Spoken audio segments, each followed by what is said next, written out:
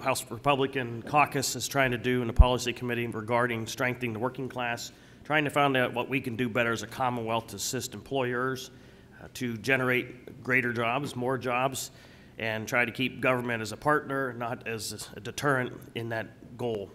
Uh, Before we start, I'm going to turn the microphone over to our host member, Jason Ortitay. Jason, we're very gracious that you are kind enough to have us here today and look forward to today's event. Um, Thanks, Kerry. I'm happy to be here. Um, Although this is not my district, I think I probably am the closest out of anyone here, um, representing southern Allegheny County and and parts of northern Washington County as well. It it was funny, a couple days ago, we actually had a a really good event in South Fayette, which is in my district. We have a couple big things going on there. We have the Turnpike extension from the airport connecting 2230 to 79, which will take some traffic off of the Parkway, which is always fun this time of day, as I'm sure a lot of people here can relate to. Um, But one of the big things is that will also connect Southpointe all the way up to the Shell Cracker Plant site, which is going to be a huge, huge investment for my district and for Allegheny County in this part of the state. We were talking with the county executive, and we were throwing around the B word, which is billions. We're looking at billions of dollars of investment coming into southern Allegheny County. Uh, Lots of new structure, lots of new buildings, lots of new jobs. Most of that a result of the energy industry, and we need to continue to help that, that industry thrive. So with that said, thank you guys for being here. Looking forward to your testimony. Before I introduce the panel, I'm going to ask my members to the left to the right to introduce themselves and where, what, where their district is in the state. Thank you.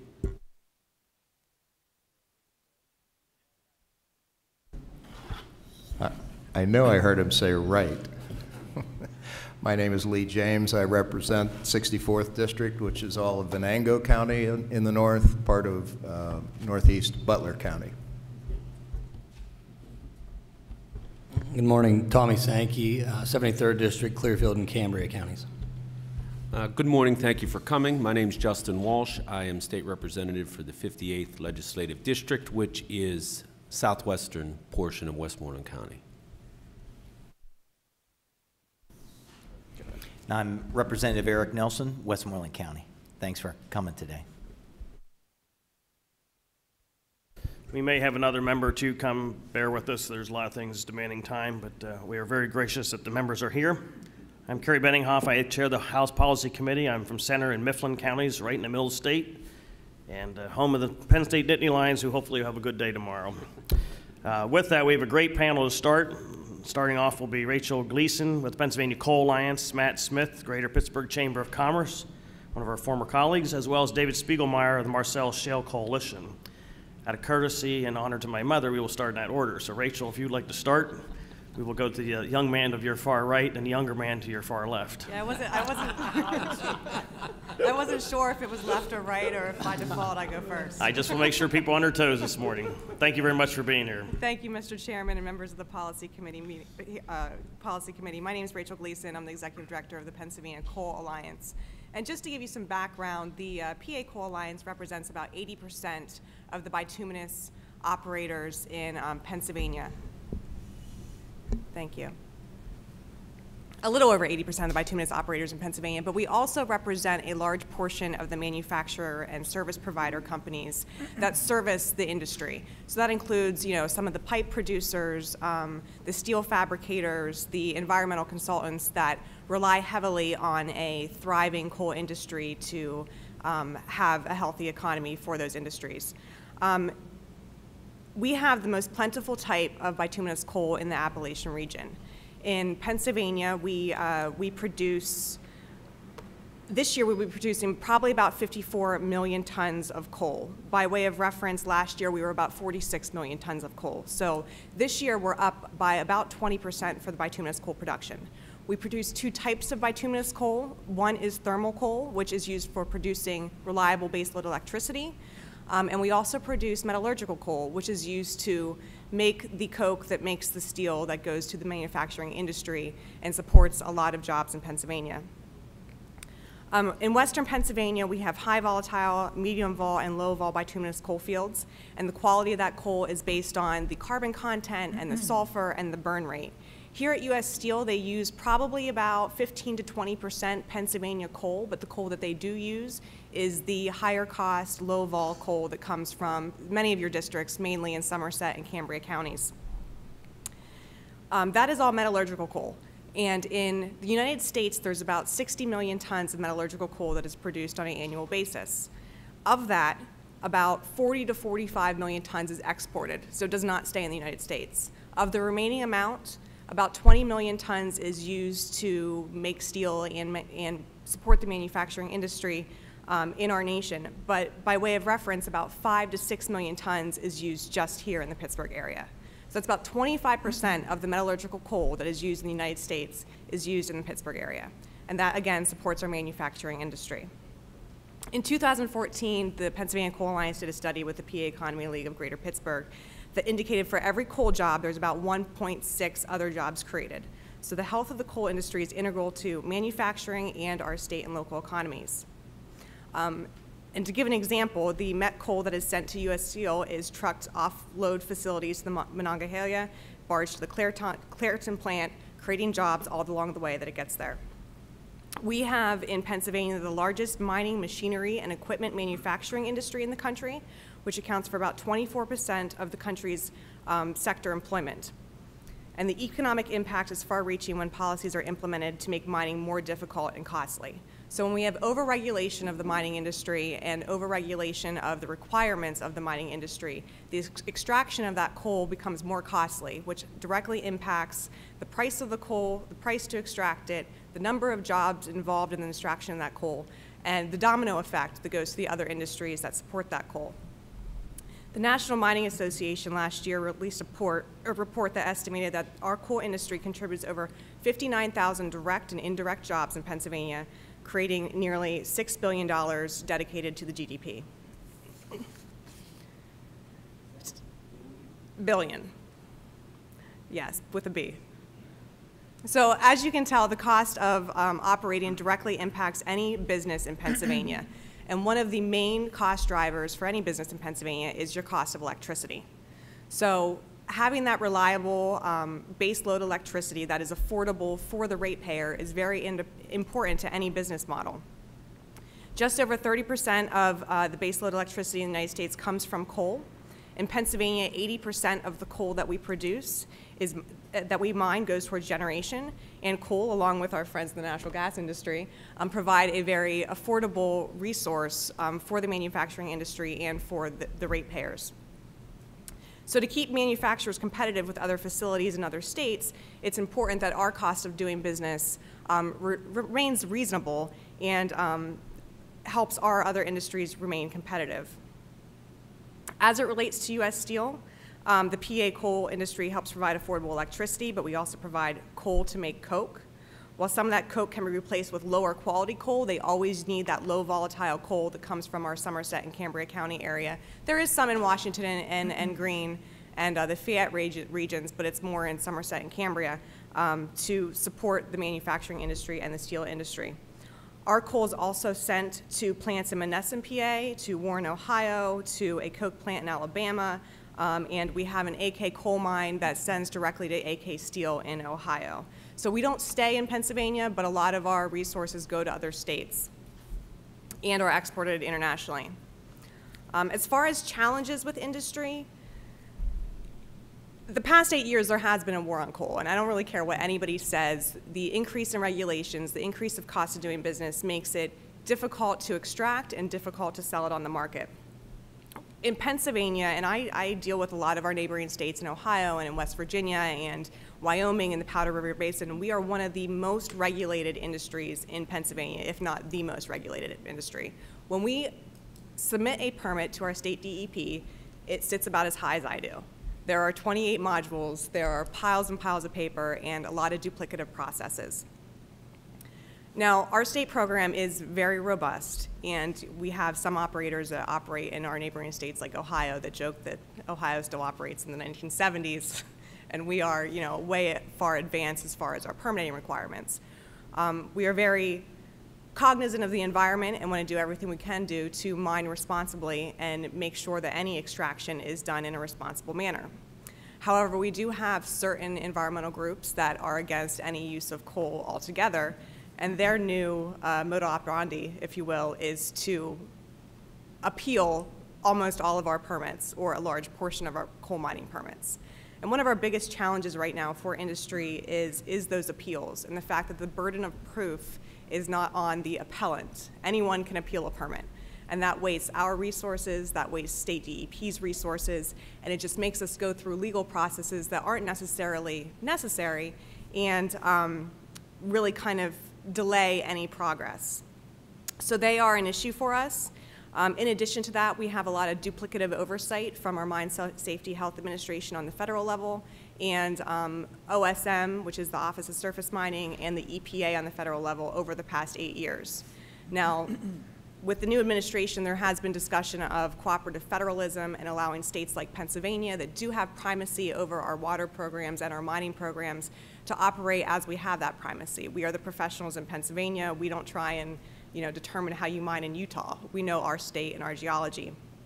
But we do have duplicative oversight, which um, can delay operations. And similarly to that, we have many regulations in Pennsylvania that are more strict than uh, federal regulations. I'd like to thank all of you for um, the recent enactment of the uh, admin code bill that, in, that included some manganese language that would align our state mining industry with the federal standard, which will be very helpful to our operators in the long run.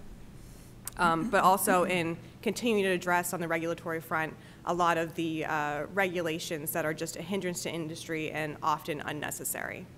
Um, with that said, I will say that 2017 has been a, a, an uptick in coal production in Pennsylvania. It has been a good year for us. Um, we are now third in the nation for coal production behind Wyoming and West Virginia. Uh, that doesn't mean that we've been doing excellent. It just means that there are other states that haven't been doing quite as well. So we kind of nudged out Illinois and, and, and Kentucky in our placement nationally for coal production. Um, and at, at this point, we are, um, we are looking forward to the increased success of the metallurgical coal market and hope to maintain our placement as uh, 30% of the electricity generation for baseload electricity in the United States. And I, I can defer to either side. I think we're going this way. age before. Want me to go?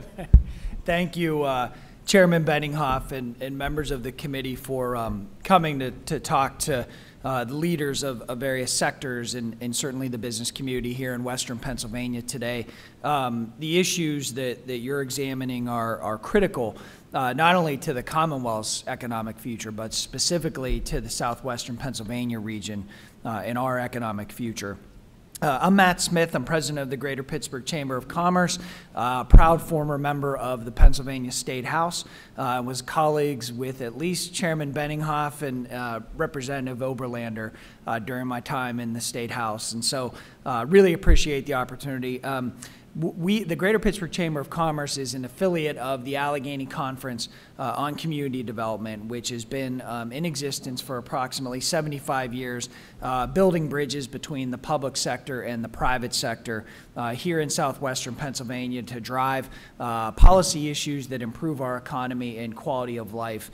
Uh, manufacturing and energy, um, as I said earlier, are absolutely critical uh, to our future here in Pennsylvania, in southwestern Pennsylvania. And just to give you a sense of uh, a frame of reference for how critical uh, these sectors are, uh, I want to give you a couple of statistics that weren't uh, included in my um, submitted testimony. Uh, first of all, manufacturing and energy as sectors are always in our top growth areas in southwestern Pennsylvania. Some years uh, they may be ranked, one of them may be ranked one and two, uh, some years two and three, but they are always at the top of the list. Uh, most particularly um, with manufacturing, for example, uh, the average annual wage for a manufacturing uh, employee in the Pittsburgh MSA is $59,683. That is 12.5% higher uh, than the average job in the region. Um, so we know uh, not only that manufacturing jobs have a huge multiplier effect uh, and create jobs indirectly, Uh, but the direct jobs that are created uh, in the manufacturing sector are high-paying, uh, family-sustaining uh, jobs that, that we have here in our area. Uh, in the energy sector, um, just a couple of, of similar statistics. Uh, energy uh, in total, and so that would obviously include both uh, coal and natural gas, uh, made up $29 billion in gross regional product um, in the southwestern Pennsylvania, Pittsburgh MSA uh, region. In the energy sector, the average annual wage, and this is for 2016, uh, was $89,240. Uh, that's 71% higher uh, than the average job in the Pittsburgh MSA region. Uh, on the research and innovation side, Energy is also providing uh, critical investment in our region. Uh, in 2016, uh, almost $21 million uh, in research, um, or 20, $21 million was in research was conducted at local universities funded by the Federal Department of Energy. Uh, 87, it, it, I think this is an important point because innovation, um, I think, is something we talk a lot about in the Pittsburgh region, and, and most of the time, uh, and, and, we're very proud of this, um, it, it is associated with our robotics sector, uh, with our autonomous vehicles, artificial intelligence, all of which is great. Uh, but innovation is also occurring in manufacturing and certainly occurring in energy. And just to give you an example, uh, it, there were in 2016 there were 87 patents granted uh, in the energy sector, and that was a 30% increase from 2014. Uh, lastly, um, in energy, again, uh, just over $1 billion in funding uh, was invested in the Bettis Atomic uh, Power Lab uh, and fossil fuel research at our Na National Energy Technology Lab, which is right down the street uh, from here in fiscal year 2016. So that gives you a sense of how important the energy and manufacturing sectors are to our local economy here in, in Pittsburgh. and, and, and we really think that our region and our Commonwealth are so well positioned to take advantage of, of some of those strengths. And particularly, um, you know, if, if there's a, one of the things that, that we've been advocating for is a change uh, in the dialogue around um, some of the policy, um, uh, you know, not only at the local and state level, but certainly at the federal level, that, uh, that discusses more uh, about economic development and growth. Um, and we think that is absolutely critical uh, to take advantage of the resources that we have here in the region. A talented workforce, an internationally recognized university system, uh, world-class manufacturing, technology, and energy industries. Um, those are just a few of the things that we believe form the foundation um, that can be used to, to provide um, uh, some um, meat to this larger growth agenda. Um, economic growth is not only essential, um, I think, for job creation, um, but when there is economic growth, uh, it makes all the other issues that we're facing, from economic issues to healthcare issues to economic equity issues, um, easier to solve because of the, the added revenue, the added job creation, uh, fewer demands on our, our local, state, and federal governments. All of those things come into play when you um, add economic development and growth. Uh, one key statistic that I included in my testimony, and I, I think sort of amplifies the importance of economic growth, um, is, is sort of the guiding principle, uh, is we did a study back in 2015 and it looked at uh, the past 17 years uh, of Pennsylvania's annual tax revenue. And the conclusion that our analysts um, arrived at was that uh, tax revenue consistently returned about 5.3 percent of Pennsylvania's total gross domestic product. Uh, through an economic boom, through a great recession, tax, rate, tax rates going up, tax rates going down, uh, new taxes being created. Uh, Pennsylvania continued to collect $53 million in taxes for each $1 billion of GDP. Um, and so uh, we believe that the only solution and the most sustainable solution to solving a lot of these issues uh, is economic growth. And, and you know, we've sort of started having discussions locally around what policies uh, can drive economic growth. And, and, we think there are really three areas uh, that are critical to focus on. And, and I'll highlight these that, uh, and they were included in my testimony. Uh, number one, uh, capital and infrastructure investment. Uh, programs and policies that encourage capital and infrastructure investment to ensure robust infrastructure investment, not just in transportation, uh, but also in broadband networks, particularly in rural broadband uh, connectivity. Um, energy infrastructure is a critical piece uh, of that particular plank to make sure that we keep energy moving efficiently uh, and ensuring that businesses and um, uh, homeowners uh, have access to low-cost energy here in southwestern Pennsylvania. Um, we think one particular um, uh, manifestation of that policy would be greater facilitation of natural gas pipelines so that we connect uh, people to the opportunities that exist uh, with low-cost energy. Um, according to the U.S. Energy Information Administration, we are now uh, the second highest um, U.S. natural gas producing state. Uh, the way in which we transport natural gas and gas liquids is increasingly important to our region, uh, and we think investment needs to reflect that. Many of you may have seen the Forge the Future report um, that was drafted uh, a few months ago, and it was a, a joint collaborative effort uh, between People's Natural Gas, and, and I should note that um, People's CEO Morgan O'Brien is the chairman of the Greater Pittsburgh Chamber of Commerce, uh, and Chevron um, uh, took part in the study. Really provides a nice blueprint, um, at least in the in the near term, uh, for some of the things we need to focus on to make sure that we uh, are fully leveraging this world-class energy asset that we have here in Western Pennsylvania. Um, the second key point for, from our view, from our standpoint, uh, to push on the policy side is on workforce um, and education. Um, we did a study last year um, called Inflection Report uh, that demonstrated in uh, clear terms with data backing it up uh, that a strong education system and a well-trained uh, workforce uh, is imperative to private sector success, and in fact will be one of the things uh, that employers look for when they're making a determination on where to make investments and where to locate uh, their businesses and, and um, add additional jobs to existing businesses. We see a critical need to invest in the labor marketplace high skill training and bridging a great divide between educators and employers uh, so that we can align our labor supply and pipeline uh, with the market and where it's headed. And particularly important in that space uh, is creating a better pipeline, if you will, uh, between the business community and educators to make sure that the curriculum, whether it's in the career and technical space or whether it's in the K-12 space, uh, is reflective of what businesses and employers are looking for uh, in new employees and, and new hires.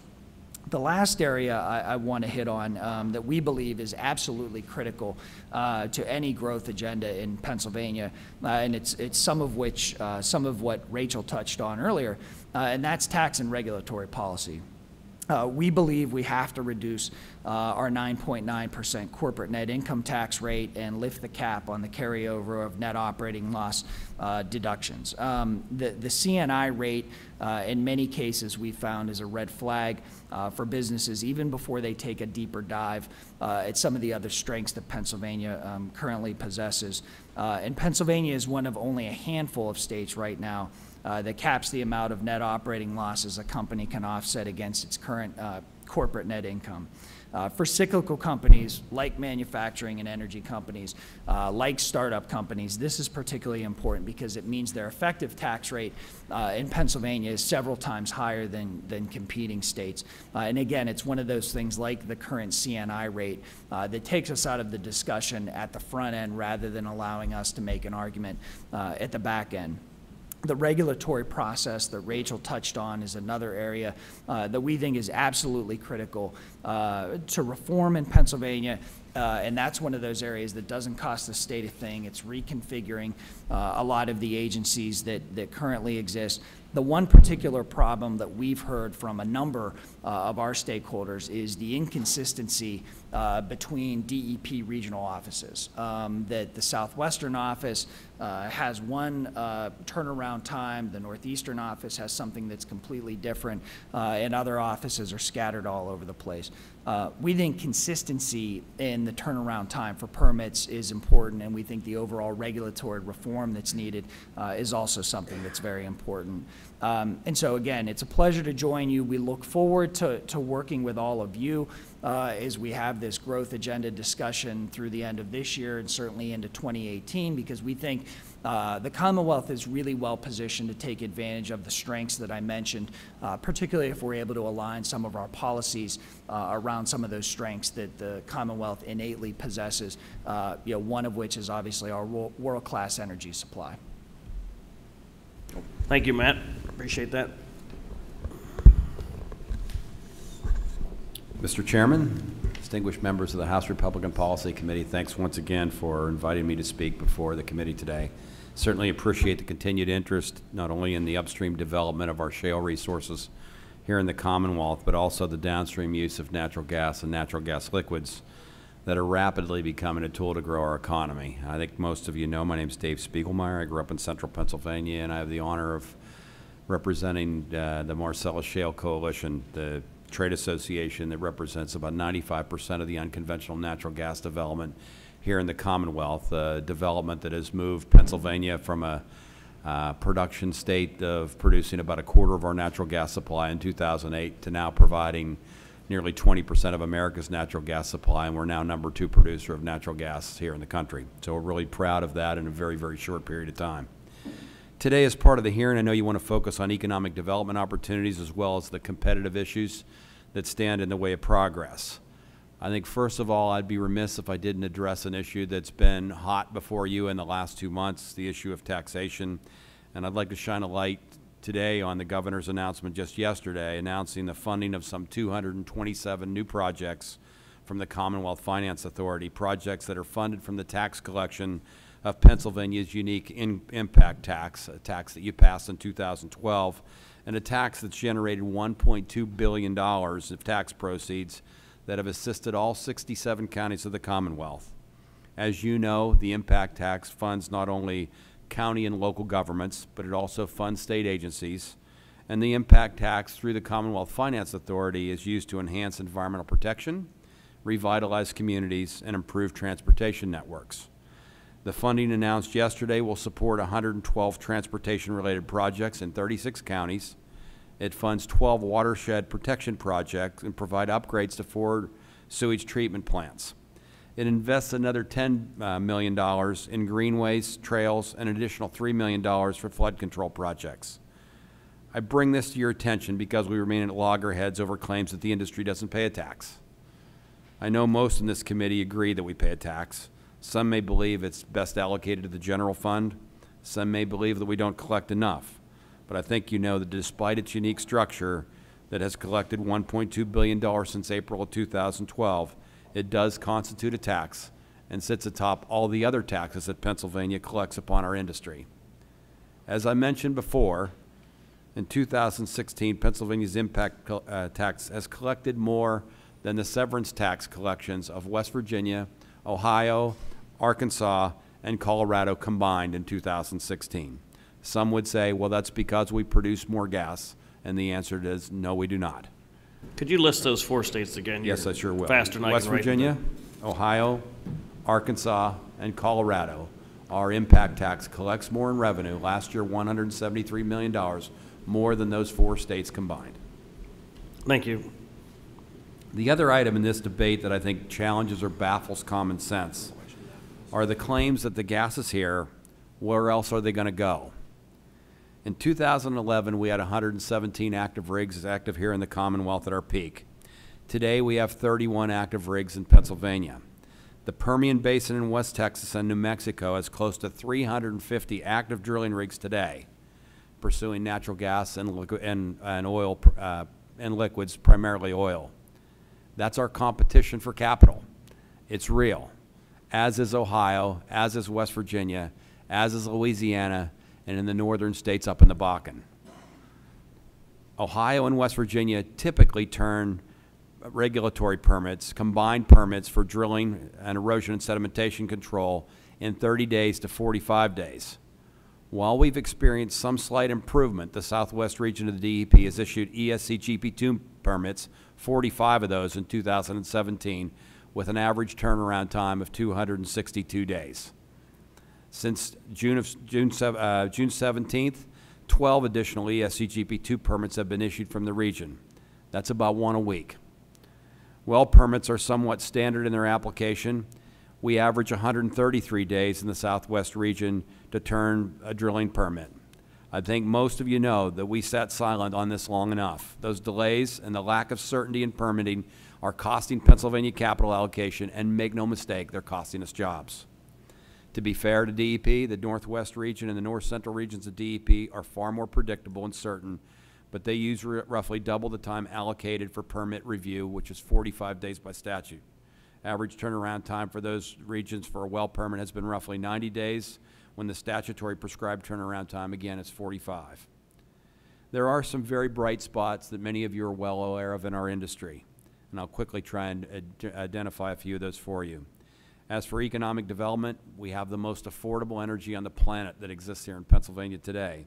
Utility pricing, when I compare utility pricing, gas purchase prices of 2008, natural gas utility pricing is 54 to 8, 54 to 81 percent less than it was in 2008. Those are enormous consumer benefits and can be used to grow our economy and manufacturing. As, uh, as Matt Smith mentioned a few moments ago, the study just recently completed by McKinsey, funded by Chevron and Peoples Natural Gas called Forge the Future, a pathway for Pen- uh, Pennsylvania's economic opportunity through natural gas, identifies $60 billion of economic growth in Pennsylvania by 2025 if we pave the way to use natural gas to grow uh, manufacturing in our state. Few know. What most folks that use natural gas realize that we use it for heating, cooking, heating our hot water, drying our clothes. But nearly every single consumer product that we touch today is manufactured through the use of natural gas. All steel, glass, plastics, chemicals, fertilizers, powdered metals, the pharmaceutical medications that are life sustaining. About a third today of our power generation electrons are produced with natural gas. It touches our lives in so many ways every single day. Many of you are well aware of the investments being made just to our west at Royal Dutch Shell with the petrochemical facility in Beaver County. Much like we've talked about uh, the steel manufacturing industry and what it's meant for this region, I think we're on the on the um, the verge of a birth announcement for new plastics manufacturing in our region to be able to take ethane to reduce, reduce to ethylene, to secondarily reduce eth ethylene to polyethylene, and develop low-density and high-density plastics, much like we have in front of us with the table, with bottles, with the plastic sheeting that goes over your clothes at the, at the, uh, at the dry cleaners, to every single plastic product we touch today. The discussion we have today is the 6,000 jobs that are being developed at that plant many of them in the labor force, as well as the 600 permanent jobs. I would tell you in 10 years from now, I think we won't be focused on that plant, but we'll be talking about the manufacturing being developed, not only here in Pennsylvania, but across this region, developing the many, many products that can be produced by the raw materials that will be generated from that location. Not long ago, this committee met at Marcus Hook. Uh, the liquids being produced in the southwestern region of Pennsylvania, and you know, I know Representative James comes from a, uh, a, a, long heritage uh, of natural gas development. It's been primarily a dry gas play in most of the Commonwealth, but the southwestern part of Pennsylvania, when we produce natural gas, it's an under-pressured area, the Marcellus and the Utica Shale area. Actually delivers heavy hydrocarbons, ethane, pentane, butane, isobutane, propane, natural gasolines that are used for a number of different products that are manufactured not only across the Commonwealth but across our nation. The ethane piece is one that's not only fueling the development of the facility in Beaver County, but it's also been a, uh, a regenerator for Marcus Hook. The Mariner One pipeline went into effect a little over a year ago. It moves ethane into the port of Philadelphia. Ethane that will be used in chemical manufacturing, not only here in the United States but abroad, is underway at that location. If you fly into the Philadelphia airport, airport, don't be surprised to look down and see a tanker sitting there that says shale gas for Europe or shale gas for chemicals. Ethane is moving out of the port of Philadelphia today to Norway and other European nations to be able to fuel their resurgence in manufacturing as well. Marcus Hook also has a second line uh, that's underway moving, will, will move both propane and butane to the Port of Philadelphia. There'll be a propanizer developed to be, be able to split cryogenically the propane off to use for home heating and agricultural use. Butane will be used for accelerants and propellants as well. we sit here today at United States Steel, and there are applications that are similar to this across Pennsylvania that I think are worth celebrating. I think many of you have probably heard uh, in northern Pennsylvania, Procter and Gamble basically cut the power pole and generates their own power on site by having shale wells on their own property.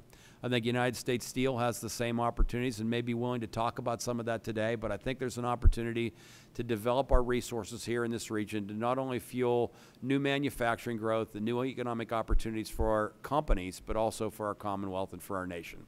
Looking forward to your questions, and thanks for having me here today. Thank you, all three of you, very informative and very precise. Uh, Matt, we know you're under a little tight time restraint. I'm going to ask the members to start with their questions for you first. Not to put you under the gun, but batter up.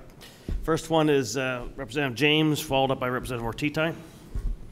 Thank you, Mr. Chairman. Mr. Smith, um, in regard to your three themes, and in particular, the second one, uh, you may have said something, but I perhaps didn't hear it, regarding the collaboration between the business end of things and the education end of things. Do you have that happening now so that uh, schools are aware of the type of workers that are required? Yeah, we, we have, thanks for that question, Representative. It, the, the workforce issue is critical. We, we have that happening in the early stages, but it's not uh, nearly robust enough. And, and I'll give you a specific example um, that was cited in the inflection uh, point, inflection point report. Um, and, and this is applicable in the career and technical space. Uh, in 2015, uh, in our 10 county region, it was determined uh, that there was a need for around um, 800 um, uh, machine tool technicians um, in the 10 county region. Our career and technical education system in that year produced around 375 machine tool technicians. And so we had a gap of around somewhat, a little more than 400 uh, job openings that were left unfilled. The starting salary for a machine tool technician uh, at that time was right around 39,000. So that would be a specific area where, um, you know, and this is what we're building towards, where the employers in the region would say, we're looking for machine tool technicians. This is the specific skill set we're looking for. Uh, we need our CTE system to produce X number of, of job um, applicants for that particular position. It's happening, but it's, it, it needs to be ramped up. We're encouraged with the progress, uh, particularly in the career and technical space, because we think that's a critical piece uh, to solving the workforce, um, uh, workforce of the future question, if you will. Um, and so we're encouraged, but we'll continue to work on it. Representative Nelson. Thank you, Mr. Chairman. Thanks for your testimony, Matt. Um, I have a couple questions. Uh, uh, the first question I'm going to ask of you first, and then I'll ask the, the building trades later after they, they and kind of building after what uh, Representative James had said. Um, are, are we doing anything to help develop programs, partnerships, business partnerships, apprenticeship programs with the local schools at the middle school level, at the high school level, outside of the um, like the VOTEC centers to help gear and shift people towards those types of skills and trades? Yeah, I mean the the building trades um, can can amplify this, but uh, they're doing, I think, um, you know, a really uh, ramped up job in reaching out um, not only into high schools, but as you mentioned, it's it's critically important to reach uh, kids and families when uh, children are in third and fourth and fifth and sixth grade. That's when you can really uh, spark an interest and, and, get them interested in uh, you know building something or working with their hands where that might be uh, an appropriate career pathway um, for that particular individual. So the building trades are doing a really effective job. employers more and more are, are getting into the schools uh, to also do that. Um, you know, members of, of the MSC and I know the, the Coal Association have done that specifically. Um, so yeah, it's, it's happening now. And again, it's one of those things as we transition from a system that uh, was built to supply workers in one way. You know, in many cases, we, um, I think, probably pushed students to a four-year school that where it might not have been the best career pathway for that individual. Right. Uh, the more we transition to a system where uh, the career pathway is really constructed for that individual uh, and for that region and what we know that, that will be available in terms of jobs, we're seeing greater involvement in the schools, uh, even, even more so now. Good, and, and even outside of the trades, I'd love to work with you in the chamber on developing other programs where we can bring in businesses to partner up with the schools to come up with um, an apprenticeship type program that gives them real world experience at an earlier level before they go to college or before they go to a trade school. Um, I think that's what our education system seems to be missing these days um, real life practical experience. This way it can gear them in a, in a specific direction. And one other quick question, and then I will gladly turn the mic over to the chairman again. Um, you had mentioned in your testimony that in good times and bad, 5.3% seems to be the, the return on whether we raise taxes, lower taxes, add new taxes, or, or, or whatever the case may be. I just want to confirm that you that you that that was what the report said, because Yep. It was, and I can certainly um, circulate to the committee members uh, through the chairman the, the um, report in more detail, but yes, it was over a 17-year time period. Uh, the state's annual tax rev- revenue consistently returned 5.3% of the state's total gross domestic product. Um, no matter what happened with new taxes, with rates uh, being increased, new revenue wasn't generated more than that percentage because businesses and individuals adjusted their behavior um, uh, to reflect the increase in taxes, and therefore the GDP uh, in those cases was reflective and therefore uh, lower and, and didn't increase the revenue as a total of the of the overall pie. all right. Thanks, Matt. Thanks, Mr. Chairman. Thank you, and thank you, Matt. I was going to ask you about getting that report. You can get it to either Bob or I, and we'll be sure to circulate it. Thank you for sharing that. Uh, Representative Nelson, then Representative Oberlander. Thank you, Mr. Chairman. And uh, Matt, we are really peppering you with some questions because I know your, your time is limited. But um, I kind of have a two-part question that parallels opportunity loss versus opportunity cost. Um, As the, the head of the chamber, if you could touch a little bit on opportunity loss, let's say specifically to our region, the announcement of Chevron um, to, you know, losing them, their corporate headquarters to Louisiana, and what that means for jobs and, and um, the potential building of their facilities. Um, And the other opportunity loss side of it, when you mentioned about pipelines, and I know we have energy producers here, but from your perspective, if we can't transfer gas, energy through pipelines and we have to start to use trucks, um, what does that opportunity cost for trucks that are compressed natural gas through our communities? What, is, what does that do to the Allegheny County network?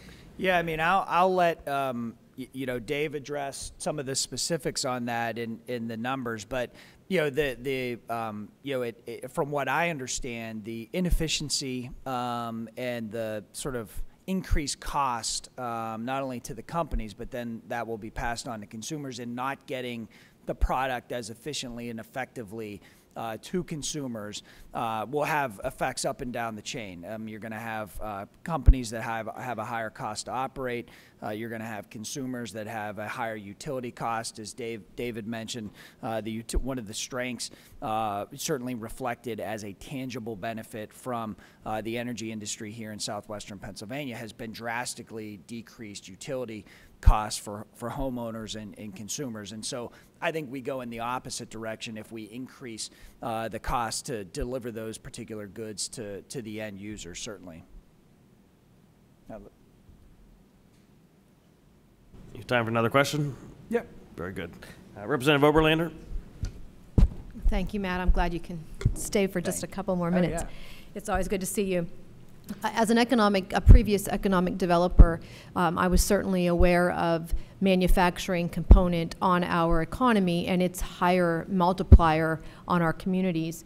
But you covered a couple of other details that were not in your testimony that I couldn't write fast enough to catch. Yeah. So I wanted to just um, confirm, you said that the average wage of those energy sectors and manufacturing was 89,420, is that correct? Yes, in 2016, the a- average annual wage for the energy sector in the Pittsburgh MSA was 89,240.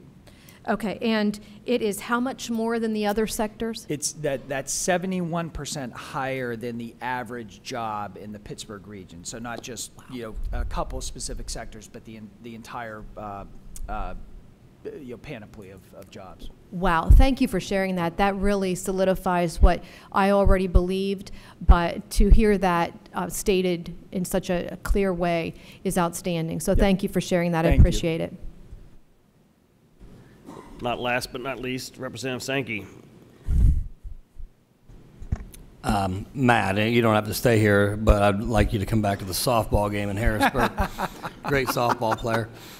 Um, I, my, I have the simplest question, but I want to make a comment first. Uh, I- so much of what you said uh, resonates, and it has to resonate with everyone. And the message, the narrative has to be changed for us of, of pro-growth and pro-jobs. Um, a lot of people don't know we lost a, a plastics manufacturer in Pennsylvania who went to Houston, not because of our highest corporate tax rate, not because of 3.07 PIT, but literally waiting, waiting on permission from the government, waiting on permits. The, the speed of business does not coincide with the speed of government. Um, all I really want from you guys is, uh, do you have a copy of your, wh- what's your, your dialogue today? Because I'd like to have it for, for my own records. And I, I just, I appreciate what every, what you guys did. Uh, I think we're all friends, but um, your voice should be loud. And we want to change the narrative to understand that everybody benefits from this. Everybody in Pennsylvania, from Philadelphia to Pittsburgh to, to Harrisburg. So thanks for being here and thanks for the positive message. Thank you. Uh, Representative Sankey, to show the efficiency of our committee, here's his testimony. Sorry you were skipped over. Other questions for Rachel or David? To my far left, uh, Representative Ortitay. Rachel, not so much of a question, but just an ask. Can you give us a list? Um, you don't have to do it today, but when you get a chance uh, of what you consider the most costly regulations at the state level for your industry? I, I certainly could. I can compile something for you. Okay, thank you. Uh, The good news, Rachel, is I wrote so many questions down, I can't remember which one I want to get to, nor can I read half of them.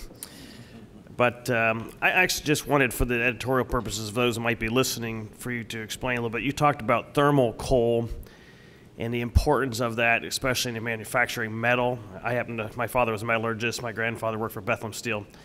So I have a little bit of knowledge, but I think the average person doesn't understand why we need some of these commodities to produce these other commodities and why coal works best. If you could just take a moment to elaborate on that. Sure. In Pennsylvania, the, in the bituminous coal fields, which are plentiful, we have thermal coal and metallurgical coal. And the thermal coal is primarily used to, to generate electricity. The metallurgical coal has a, is more is lower volatile and has a different composition and a higher burn rate, and therefore is used to create the coke that creates the steel that is dedicated to the manufacturing industry. So U.S. Steel, we get them on both ends. We provide the affordable baseload electricity to, to let them operate, and then we also provide them the metallurgical coal that they need to generate the steel. And again, I'm taking advantage of your knowledge. Uh, just for those listeners who may not be here, a definition of the coke that's created and your definition of why the, the importance of the low volatility.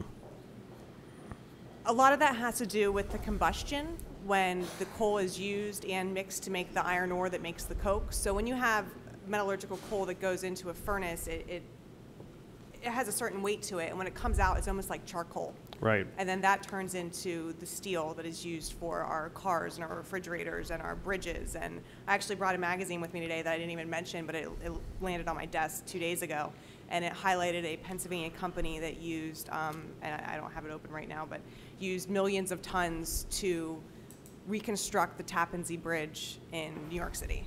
So that was Pennsylvania coal that made Pennsylvania steel that was used by a Pennsylvania company to go to New York City and supported about 7,000 jobs in just the production, the construction of that bridge. So that kind of highlights the importance and the domino effect of the coal industry and its and its impact on manufacturing and economic development and infrastructure. No, and I appreciate that because I think it's important for us to realize that um, a lot of the products we use on a day-to-day basis are very much dependent on your industry providing us the energy resources in order to actually come up with that great chemistry to make those steel products. Correct. If you want to drive a car, the, the, the frame of it is likely made by steel. And if it's electric, Dave and I would be happy to provide you the affordable electricity to charge that car.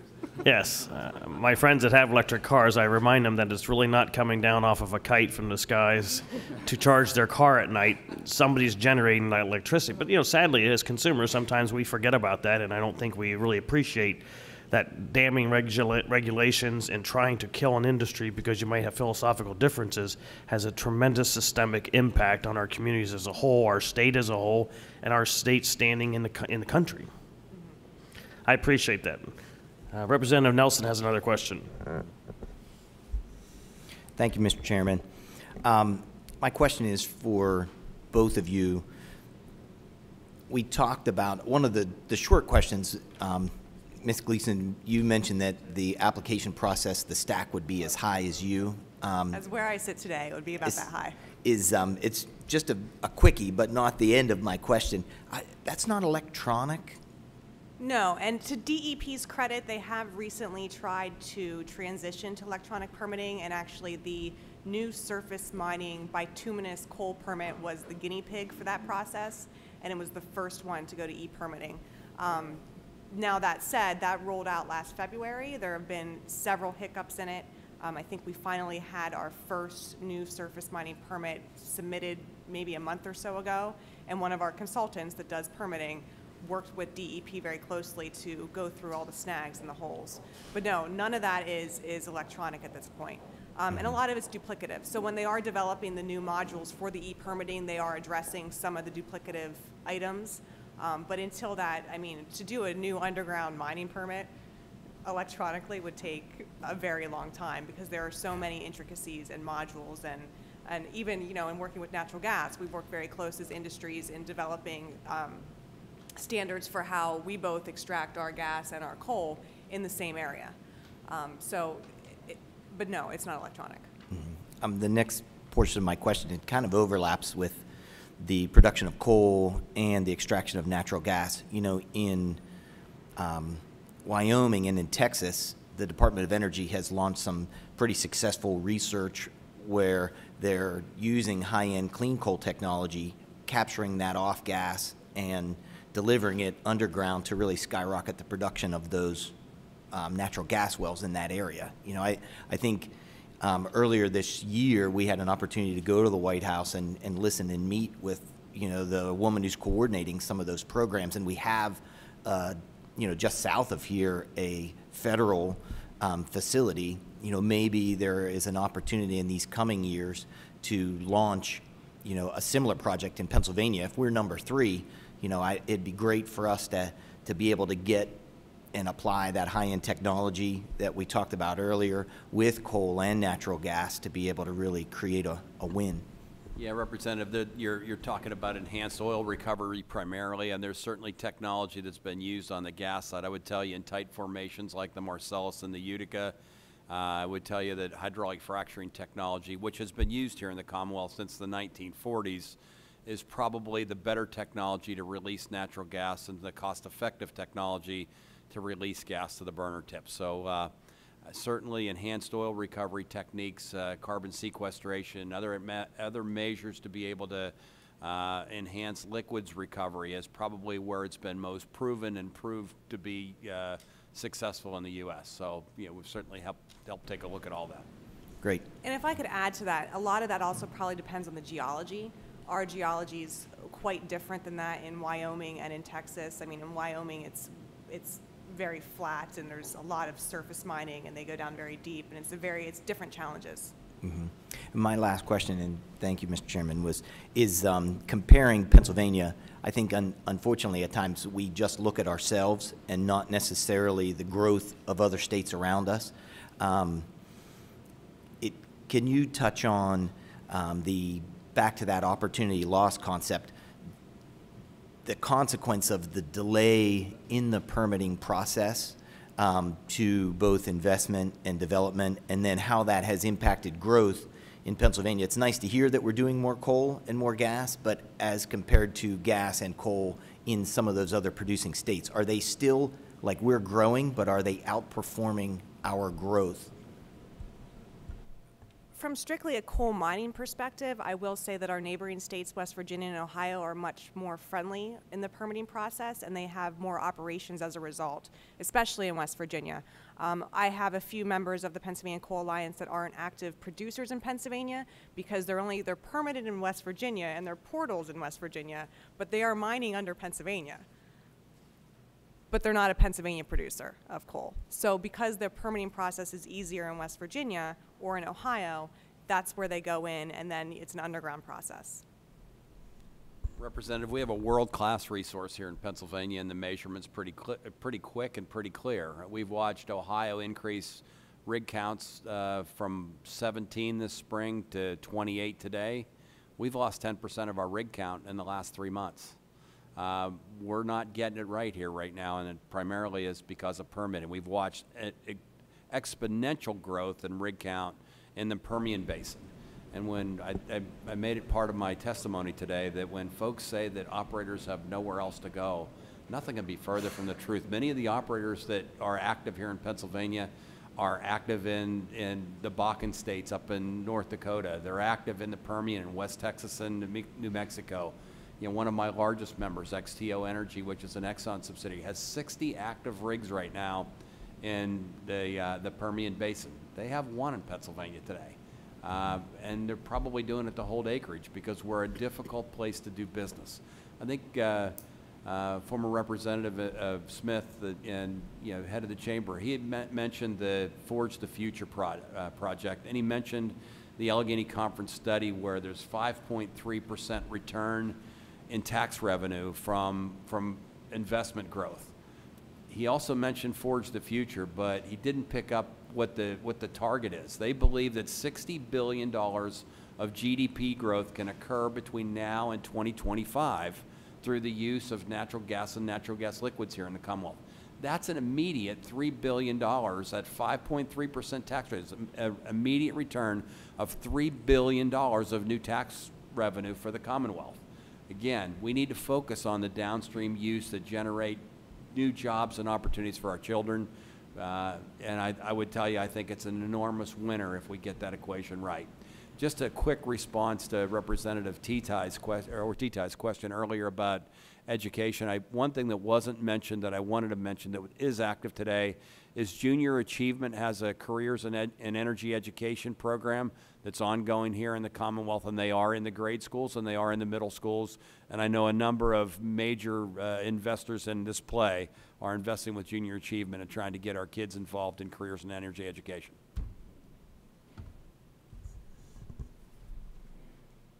That's great to hear. I remember my father bringing metallurgical movies into my third grade class and have these kids watch these big vats of molten metal, but uh, I was proud of them. I thought it was pretty cool. I became a politician, but that doesn't mean anything. I believe Representative Walsh has a question. Uh, this is for uh, Rachel. Uh, I guess my inner lawyer is, is coming through here, but you touched on the um, uh, permit appeal process. Uh, who carries the burden and what that burden may be? Uh, can you expound on that a little bit, please? Well, right now, any permit that's issued by our state DEP can be appealed to our environmental hearing board. And one of the um, efforts that some of our very well-funded adversaries use is to appeal our permits. And in fact, um, this summer we had Act 32 uh, became enacted, which was a response to one of those court appeals that was taking two years for the EHB to decide on. It was filed in 2014. They heard it finally in 2016. 2017 later, we still don't have a decision. Threatened, we had a mine closed for uh, several weeks. Uh, 500 people got laid off. Um, that mine is the largest underground mining complex in North America and threatened the employment of about 2,000 people. So that's one of those efforts that because the Environmental Hearing Board didn't come to a decision in time to match the production schedule, um, we had to do something legislatively, and I appreciate all of your support on that. Um, but it's a continued effort. There are certain associations um, in middle and southwestern Pennsylvania that are um, nationally funded that you know just use their resources for the legalese of filing permit appeals and delaying the process. Uh, in, in referring to that legislation, um, please refresh my memory. Are there any penalties for an, an appeal that might be found to be meritless? Not to my knowledge. Thank you.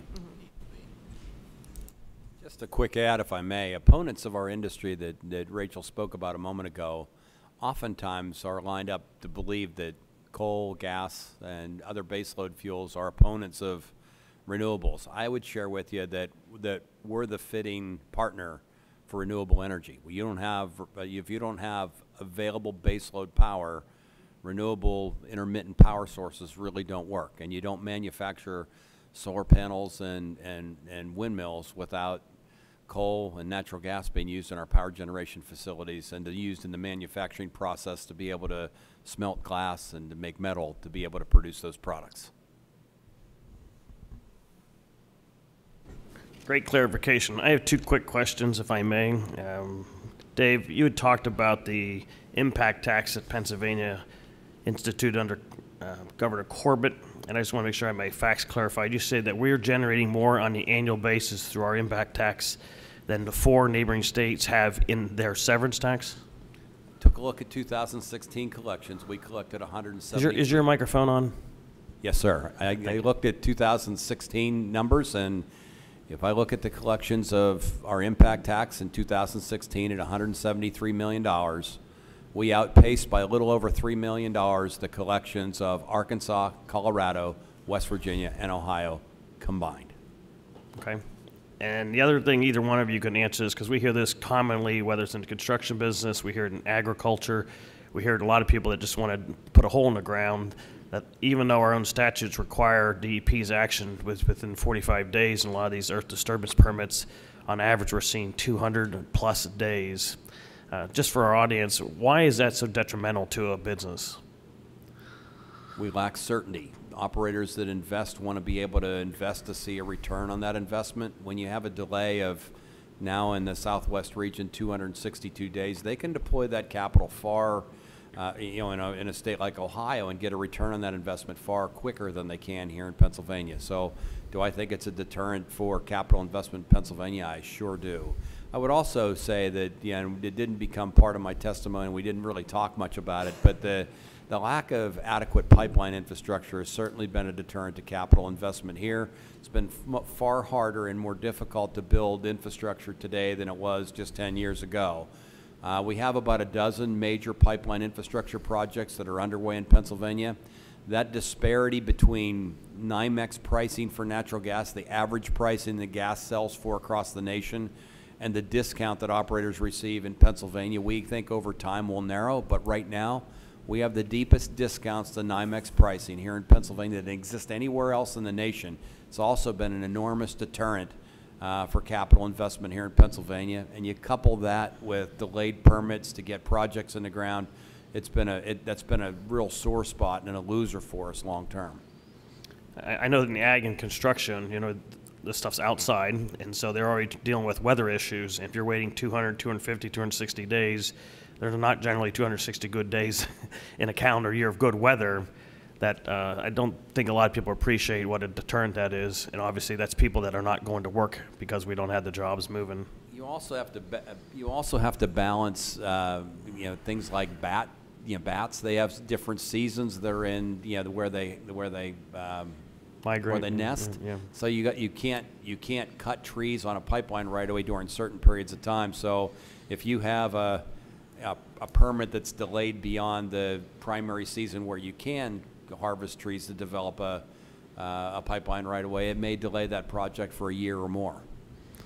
Thank you very much. Last question for me is uh, how can the state better assist in pipeline deployment? Is there anything specific we can do or something we could be doing better that we may already be enrolled in? You know, the debate's ongoing on a lot of different fronts, you know, not just in our industry, but upholding the standards that the legislature has set for returning permits in a predictable and certain period of time, it's, it's job one for investors to be able to have a predictable period of time for where they can determine when they can begin operations and, and, and if they don't have a complete application to hear that sooner.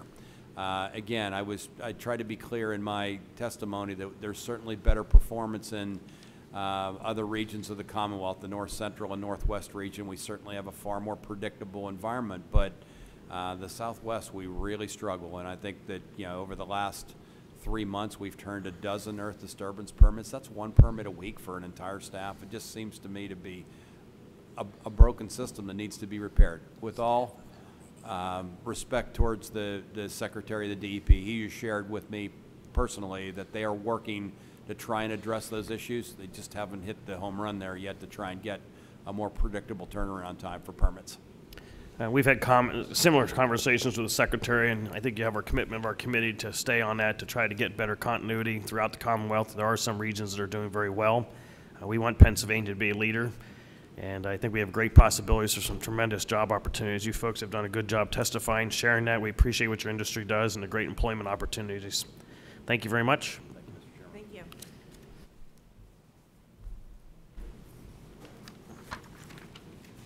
Our second uh, panel of testifiers will be Christopher Massiano, United States Steel Corporation, Petra Mitchell from Catalyst Connection, as well as Jeff Nobers, Builders Guild of Western Pennsylvania.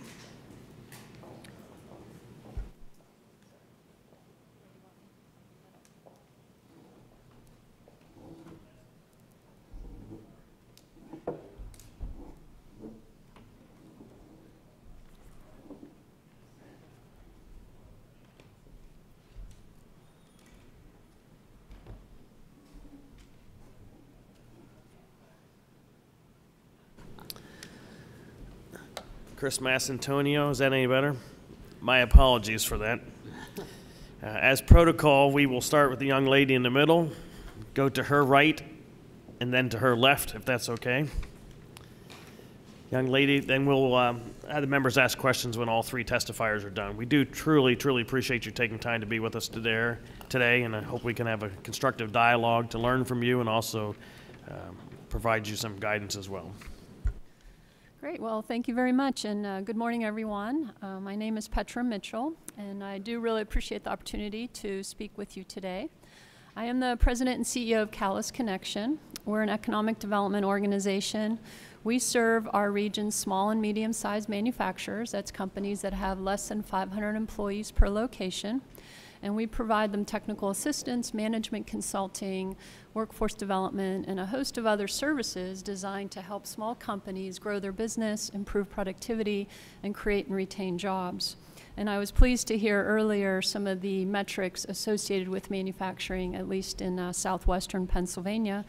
As we know and as we've heard, as individual manufacturing companies grow and succeed, collectively they impact the regional economy, and when manufacturing succeeds, everybody in the community has the opportunity to prosper. So Catalyst Connection is funded in part by the federal government through a program called the Manufacturing Extension Partnership, or MEP.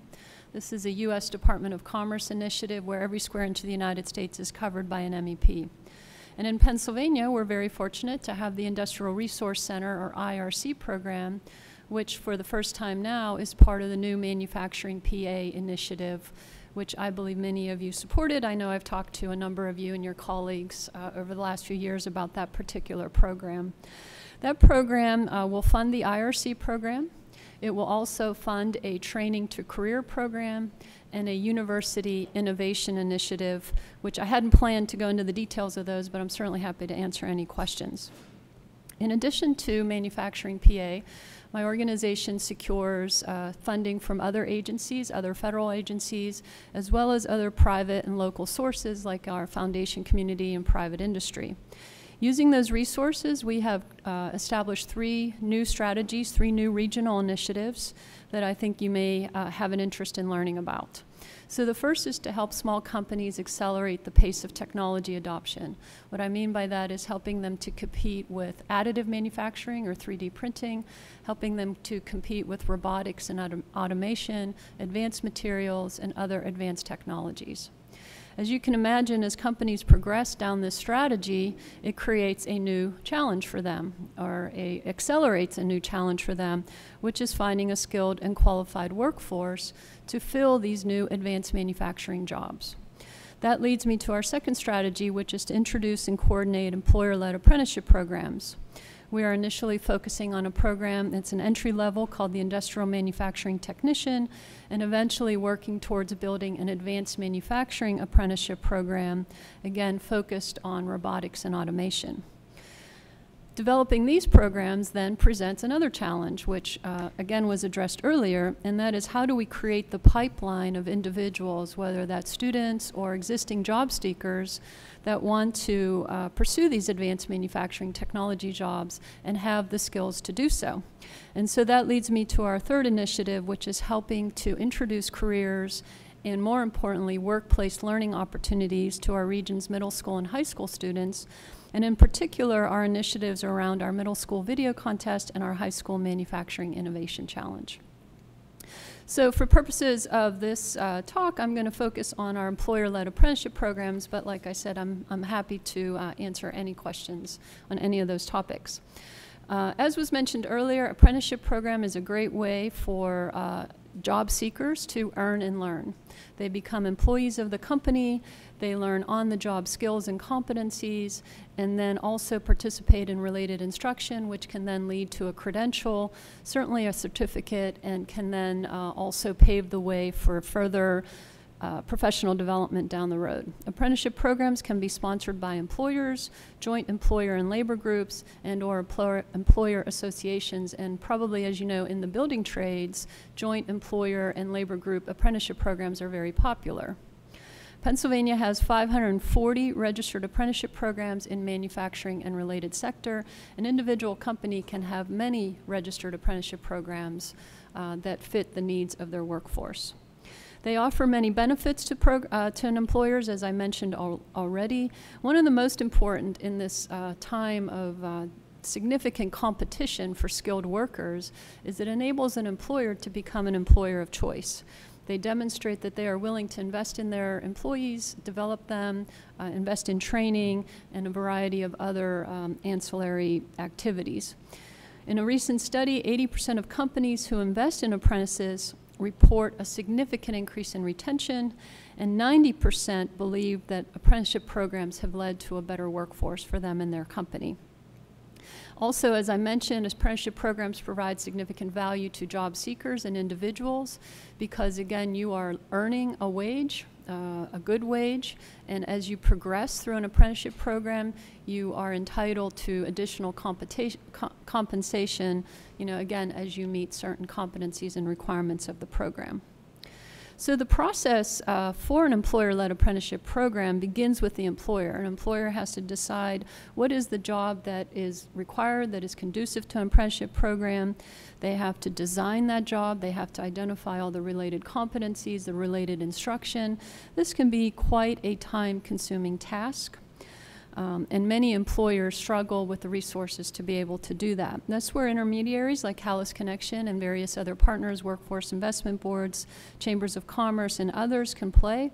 We can help coordinate uh, with employers. We can help to enable the development of these jobs, competencies, and related instruction. We can coordinate with training providers, and more importantly, help to bring financial resources to the table because the related instruction part of an apprenticeship program can become quite costly. An example of this program is an entry-level program called the Industrial Manufacturing Technician. This was developed in Wisconsin by um, federal funding, and we are working now to bring that to Pennsylvania. It's, uh, like I said, entry-level. It's a 3,000-hour program. takes about 18 months to complete and has 264 hours of related instruction. The whole point is to make something that's relatively uniform across the board, kind of if you think about if you go to college your freshman year, you take sort of basic classes and then build the foundation and then you can move into specialties as you progress. Companies still have the opportunity to customize the program, but again, uh, it's, a, it's um, 80% of the work has been laid out for them. And also companies with a common program have the opportunity to combine their resources to share in the related instruction part of the effort, which again can be very costly. As part of our intermediate role, intermediary role, Catalyst Connection provides the technical expertise evaluating the plan, walking a company through the process, and more importantly, helping them to become registered with the State Office of Apprenticeship. That is critical if the company wants to be eligible for federal funds for training their employees. It's critical that the program become registered. That's also very important to the individual because then that gives them credentials that they can continue on uh, for their own individual careers. Uh, so in conclusion of the apprenticeship program, we did a recent very small survey of local manufacturers. Over half said apprenticeship programs were very important, but only one third of respondents actually have one. And admittedly, we came across many companies that had registered apprenticeship programs, uh, but they were laying dormant. And so I think there's a lot of opportunity to help manufacturers reinvigorate those programs. Uh, just a little anecdote I did visit one company that told me they had uh, a very functional, very robust apprenticeship program, but when we investigated, it wasn't actually registered. So that was unfortunate for them. We're going to help them, uh, you know, get registered. So again, um, as I mentioned earlier, a critical element of the apprenticeship program is the pipeline of candidates. And um, I agree with Matt Smith's comments earlier. There isn't enough to be done, but there is quite a bit to build on.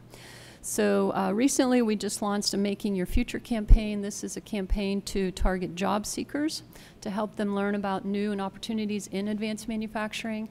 Uh, a finding in the recent uh, Brookings Institution report mentioned that many job seekers in the community just are not aware of what's available to them.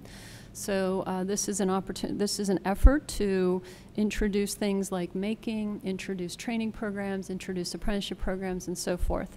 Make citizens to makers, makers to job seekers, job seekers to employees. Uh, we also run a middle school and high school career awareness and workplace learning program.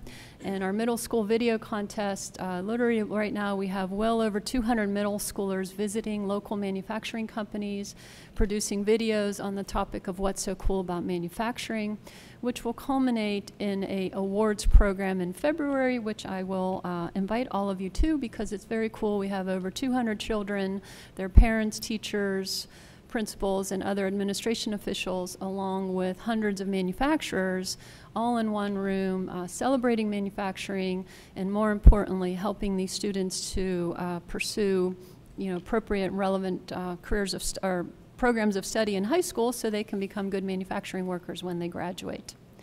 Uh, so again, thank you again, and uh, I guess when we're done, I'll have an opportunity to answer some questions, which I'll be happy to do so. Thank you.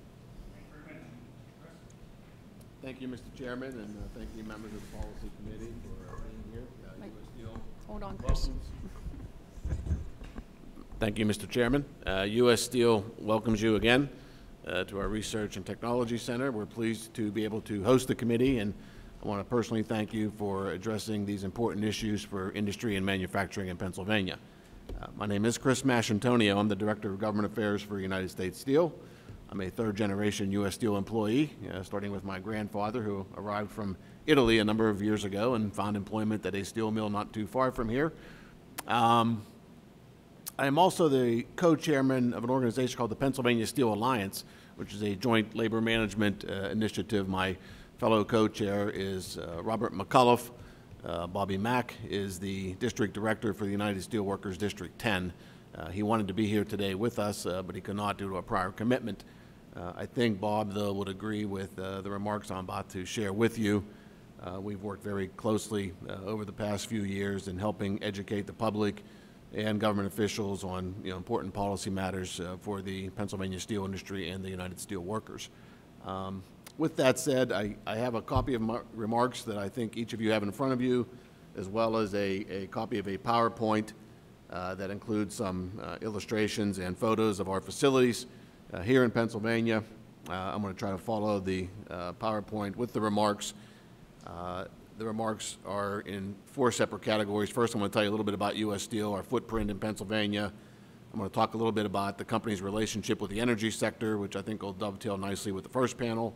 And then I'm going to talk a little bit about manufacturing in Pennsylvania. And finally, an important issue facing the American steel industry, and that's uh, one of uh, trade and uh, trade violations uh, that our industry is facing from some of our foreign competition. So Starting with uh, United States Steel, uh, you'll see on the, the- first slide, uh, there's a map uh, which shows you where our operations are located in the United States uh, and around the world. Uh, We are primarily located in the United States, though we do have a large steelmaking operation in Europe as well, in Central Europe, in Slovakia. Here in the United States, uh, United States Steel, uh, steelmaking, we're an integrated steel producer, and what that means is we're making steel from raw materials, iron ore, coal, limestone primarily. Uh, It all starts for us up in northeast Minnesota, where we operate the largest iron ore mines in the United States. Uh, I spent a lot of time up there, you know, working with the government in Minnesota on those facilities, share a lot of the con- concerns and issues that Rachel Gleason talked about for coal mining uh, here in Pennsylvania and elsewhere. Um, We also operate major steel uh, mills in the Midwest and here in Pennsylvania. Uh, Here in Pennsylvania, the integrated steelmaking facility is referred to as the Mon Valley Works. Uh, You are sitting in the central part of the Mon Valley. Uh, This is where it all starts for us, and it's, we've been operating in the Mon Valley for over 100 years uh, as a company. Uh, The Mon Valley Works is connected by the Monongahela River, obviously, but also by railroads, power lines, gas lines, and and roadways themselves. Uh, There are three facilities all interconnected here. Uh, It starts with the Clairton Coke Plant, uh, which I want to talk to you a little bit about. Uh, Clairton is the largest byproduct coke plant in the United States. Rachel shared some figures with you regarding coal and its relationship to the steel industry. I'll add a little bit to what, what she offered. Uh, U.S. Steel's Clairton plant is a producer of high-quality blast furnace coke used by several U.S. Steel facilities, not just here in the uh, Mon Valley. Uh, the coke produced at Clairton is made from a blend of various metallurgical coals, uh, all of which arrive at the plant via barge over the inland water system, which includes the Ohio River and the Monongahela Rivers. Uh, So another key issue for us is maintaining our locks and dam system on the navigable waterways uh, in order to get our coal to the Clairton Coke plant. Um, The Clairton plant typically receives about 5 million tons of metallurgical coal by barge each year. Uh, This equates to about 14,000 tons of coal each and every day of the year. Uh, On any given day, the Clairton plant will receive about eight to 10 barges of coal, which equates to as many as 3,650 barge loads in any given year. Uh, The coke produced at Clairton, as I mentioned, is shipped to other facilities, uh, primarily here in the Mon Valley at our our Edgar Thomson plant, uh, but also our largest steel mill in Gary, Indiana, as well as our Great Lakes Works, which is located right outside of Detroit, Michigan. Um, These mills consume the coke made at Clairton in the iron and steelmaking process, producing products that serve customers in the automotive, appliance, container, construction, industrial equipment, and energy industries. Uh, They're all of our customers. Uh, If you look at the next slide, you'll see a photo of our Edgar Thomson plant. Um, So in addition to Clairton, the Mon Valley Works includes our steel production facility, which is the Edgar Thomson plant. This is where we're taking those raw materials from Minnesota and Clairton and elsewhere and, and putting them into our blast furnaces. Uh, we have two blast furnaces at the Edgar Thomson plant. You can see on the following slide some uh, additional photos of what goes on at the ET plant, as we refer to it.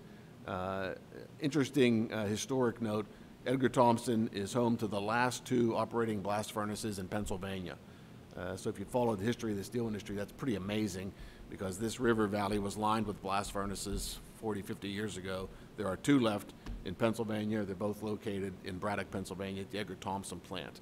Uh, There are a number of electric furnaces across Pennsylvania, melting scrap, producing steel, but making steel through the integrated steelmaking process from raw materials only occurs in Pennsylvania at the Edgar Thomson plant. Uh, So we're pretty proud of that.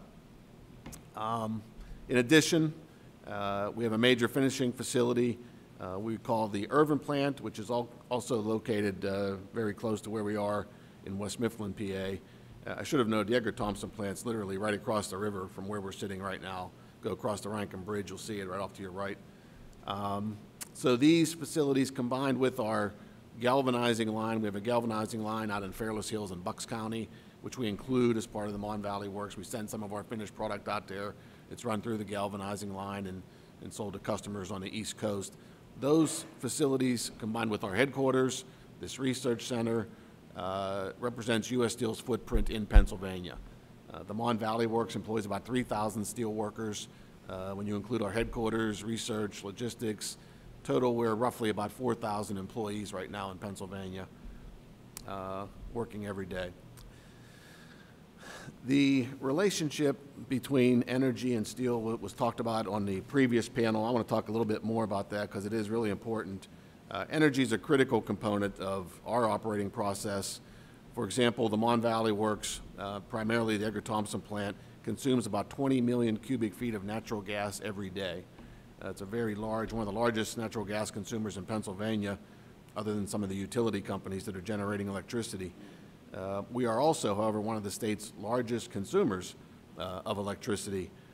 Um, Interesting note, the Mon Valley Works was uh, certified a number of years ago by the PUC and DEP as an alternative energy system under uh, the state's alternative energy portfolio system, and we qualify for the two, tier two credits. Uh, The reason we qualify is because we recycle a lot of our energy. Uh, We drive off gases from our blast furnace and coke operations, generate electricity. We also practice energy conservation efforts and, and reuse a lot of the, the, the waste heat to reheat our furnaces and what have you. So, so we're proud of that. We're proud to qualify for that status. I think we're one of the few large manufacturing sites in Pennsylvania that's certified under the AEPS. Um, It's critical for manufacturers in Pennsylvania to continue to have affordable, long-term energy supplies, including natural gas and competitively priced power rates. Decisions by state government that increase the cost of energy production and electric generation are very harmful to manufacturers uh, for the reasons I just stated. For this reason, our company works closely with the energy sector and state policy leaders like yourself on issues impacting energy resources. Having available and competitively priced energy resources like natural gas and electricity provides our facilities with a key advantage in what's a fiercely competitive global steel market. In addition to being a large customer of the energy sector, uh, we are also a major supplier of steel products. Uh, If you look at the last slide, uh, you'll see some of those products being made at our, our facilities. Um, U.S. Steel, in fact, is the largest producer of steel pipe for the oil and gas industry in the United States. We operate pipe mills in Alabama, Ohio, and Texas.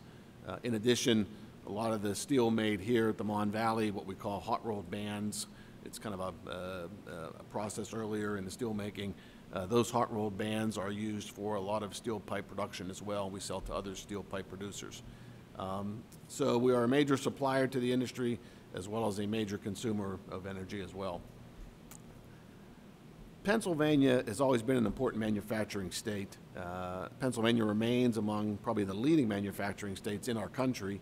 Uh, the Pittsburgh region alone uh, ranks manufacturing as the third largest sector in terms of gross regional product at $13.9 billion annually. Manufacturing also employs over 93,000 residents in the Pittsburgh region. Uh, For this reason alone, it would be important for policy leaders like yourself to support manufacturing. However, there are additional reasons. We all know that manufacturing is important to the country. It impacts our lives. It can lift families up, open doors to prosperity, and raise the standard of living. In order to foster growth and innovation in the manufacturing sector, leaders in state and federal government should work closely with manufacturers and energy companies to develop policies to remove barriers and create incentives for manufacturing to invest and create further job uh, creation. Here in Pennsylvania, we are truly fortunate to have a strong manufacturing base and be sitting on top of the Marcellus Shale, one of the largest natural gas plays in the world. The opportunities to develop our energy and manufacturing sectors are now before us. The role of state government will be important to ensure our businesses are not deterred from taking advantage of this opportunity through overregulation and taxation. Likewise, environmental regulation must be reasonable and based on modern science. U.S. Steel and our employees have a strong commitment to our environment. It's critical that we continue, however, to maintain the proper balance of environmental responsibility and economic, economic opportunity and not risk the future of our remaining manufacturing jobs.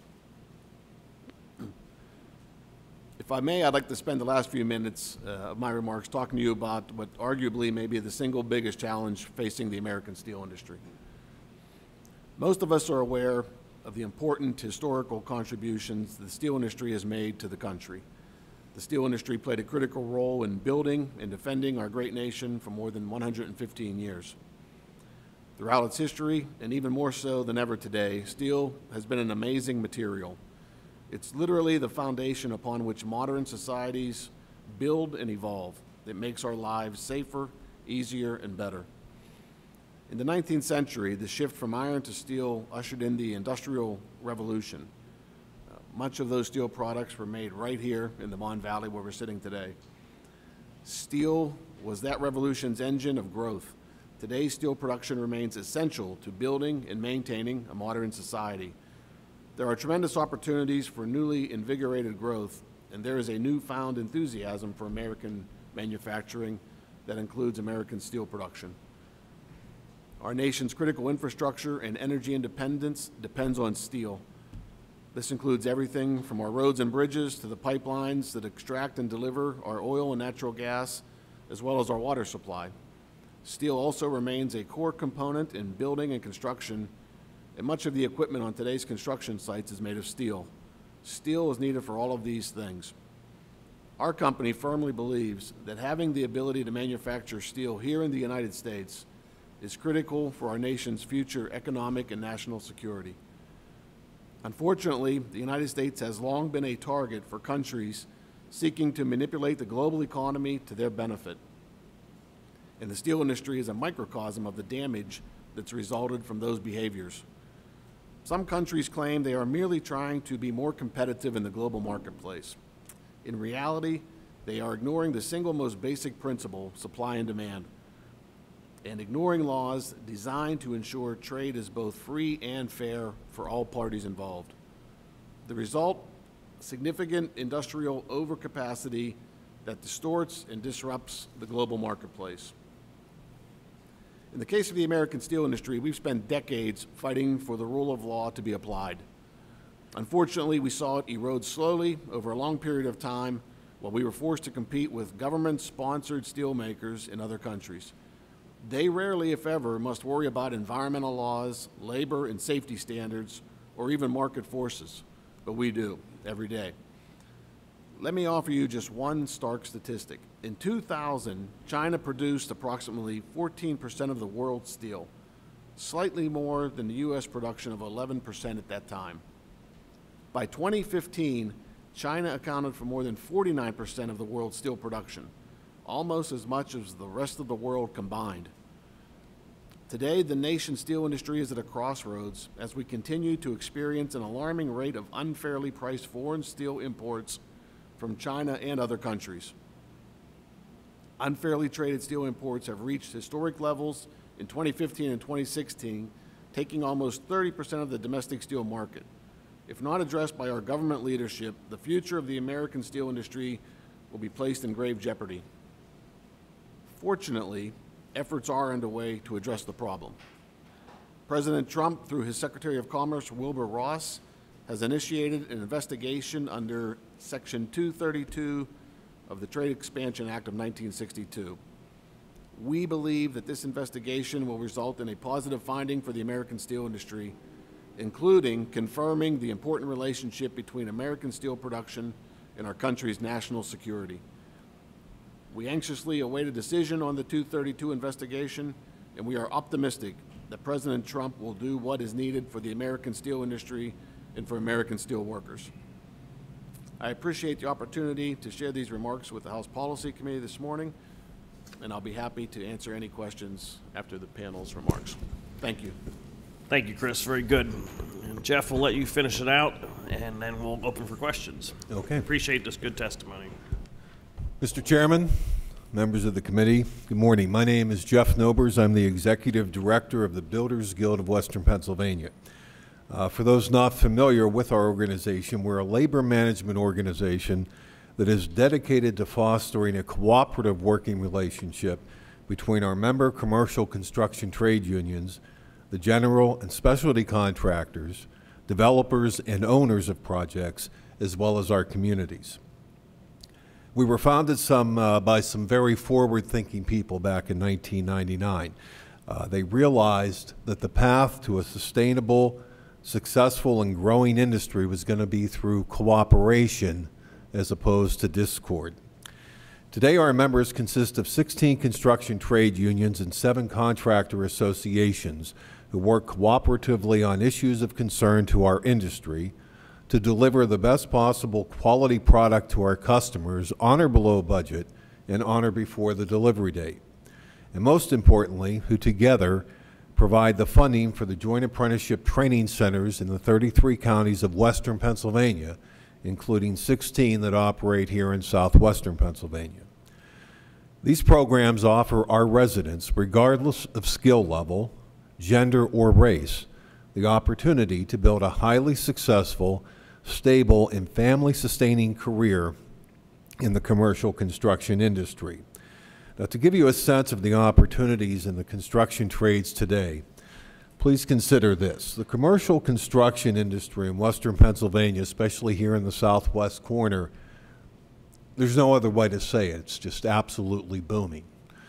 Uh, there are tradesmen that I work with every day who are in their 50s. They've been doing this for 30 and 35 years.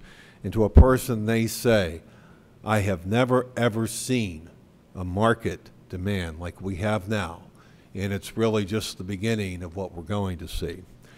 According to the Tall Timber Group, which publishes Breaking Ground magazine, commercial construction for the Southwest region in 2018 is estimated at $5.5 billion. And that was before the announcements made a few weeks ago by UPMC and Highmark about $3 billion in new hospital construction over the next four years.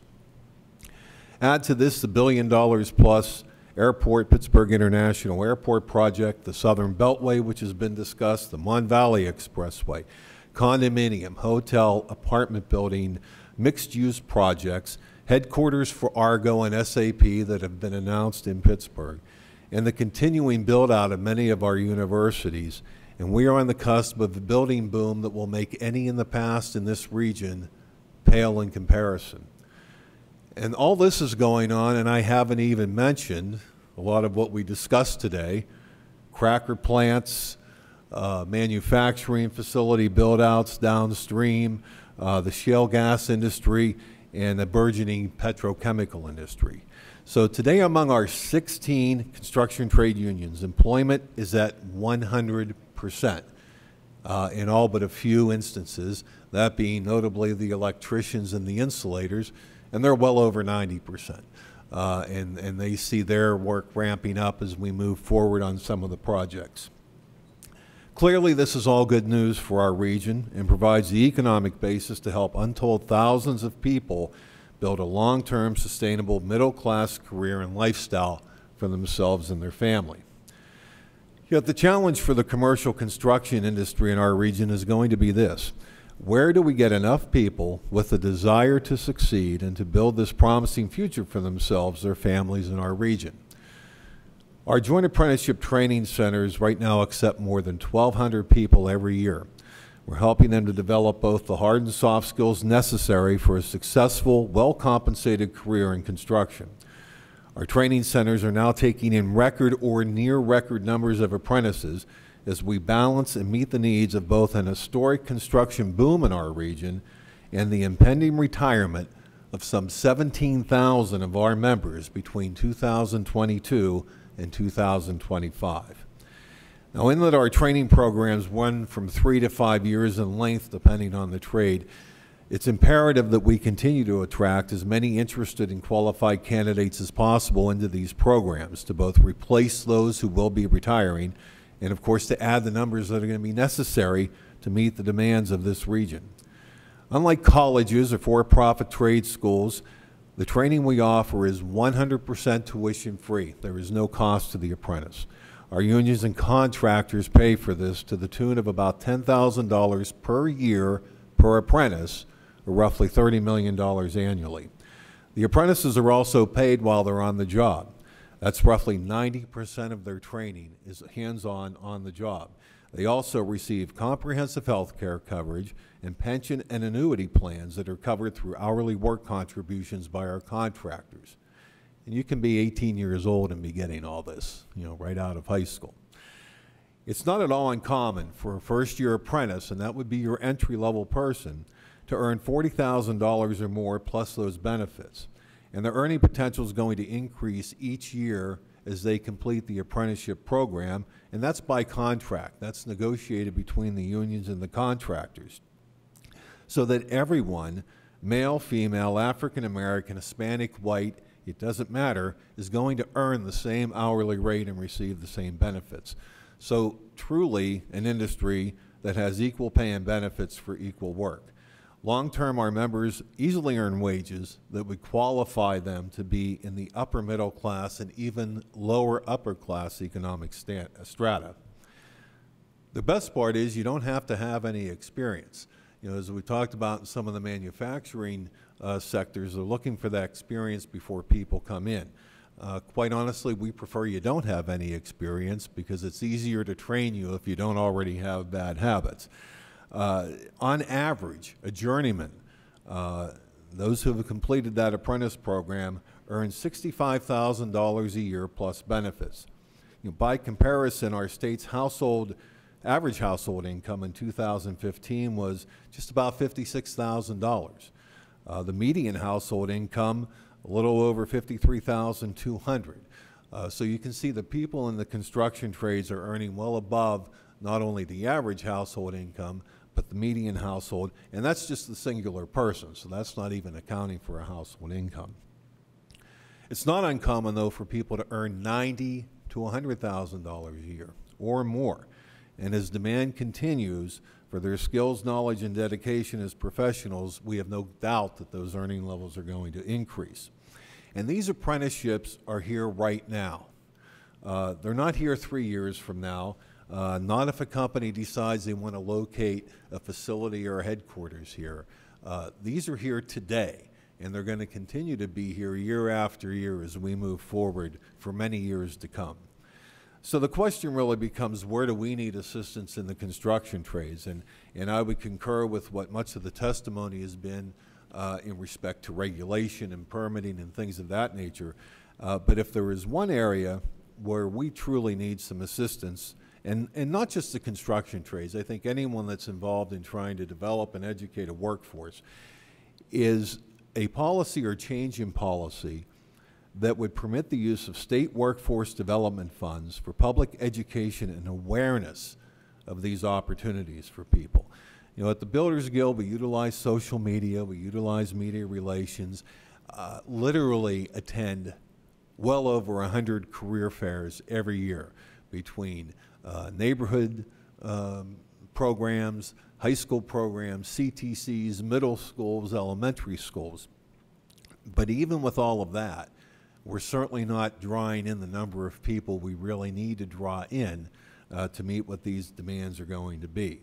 What's really needed is a coordinated, ongoing public education campaign because we have to reach not just those people that may come in, we have to reach the influencers to them, the teachers, the parents, uh, the boss they have at the minimum wage job they're in who wants them to progress and be able to move on.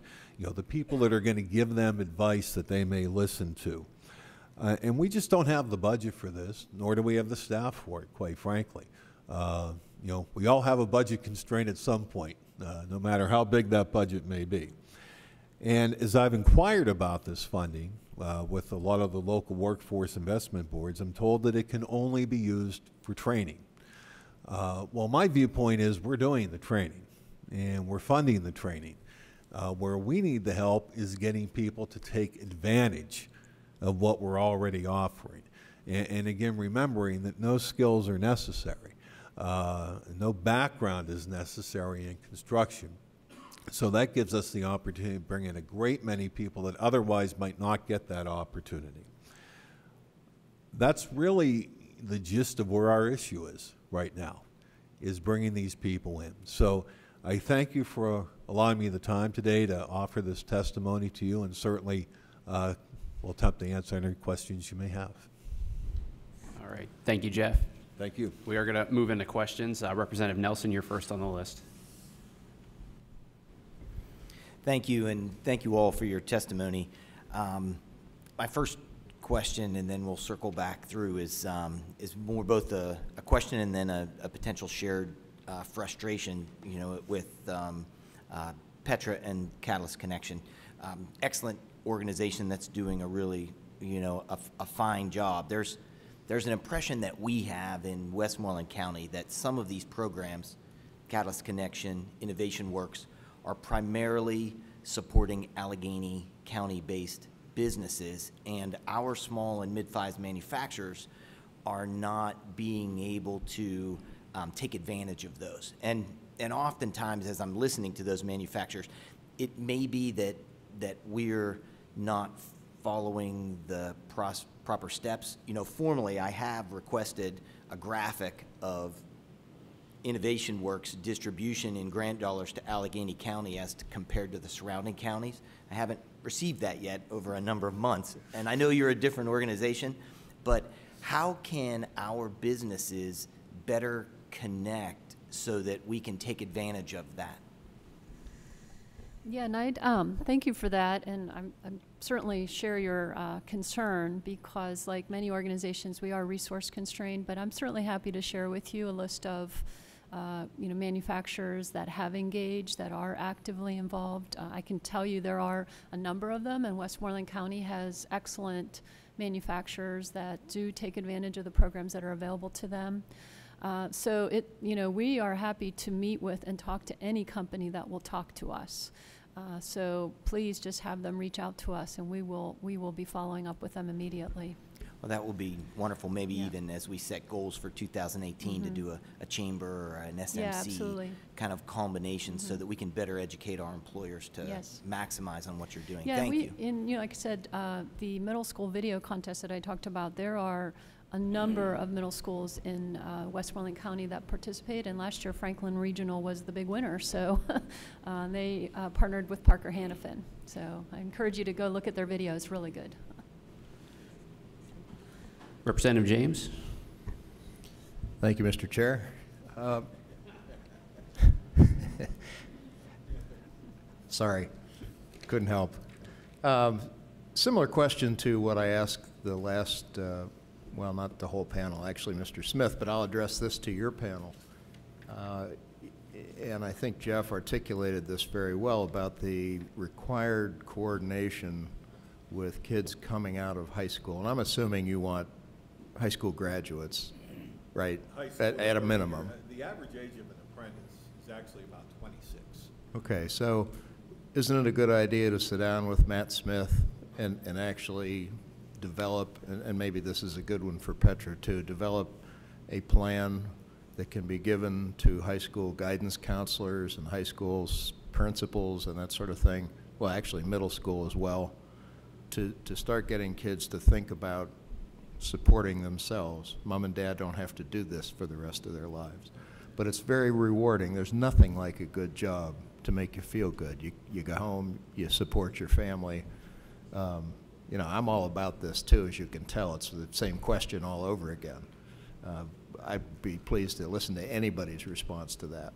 Well, I, I think from, uh, you know, that, that perspective, and I've met with a lot of the school districts in especially southwestern Pennsylvania, Butler, South Fayette, uh, Armstrong, to name a few. And, uh, you know, as part of this whole planning of that uh, career curriculum uh, that, that- the districts have to put together now. And, you know, the one question that comes up is, well, what do we need to teach these kids? I, I don't know that it's so much that it's not there. It's, it's how you're teaching it and explaining the application of why that's important. I mean, I'm sure we can all think back to high school and you were sitting in some class and you sat there and said, I'm never going to use this. Why do I have to pay attention to this. Um, well, and, you know, I talk to kids now that are seniors in high school and they want to be a carpenter. And I ask them how they did math. Oh, I, I'm terrible at math. Well, you better go get tutored if you want to be a carpenter, because if you don't know algebra and calculus, you're probably not going to pass the entry exam. Uh, so it's it's not that the curriculum isn't there, but but I, I wholeheartedly agree with you. It's it's changing the uh, perception and mentality of the teachers and the counselors that you know, they have to say to these kids, look, you don't have to go to college to, and kids always acquiesce to the money, right?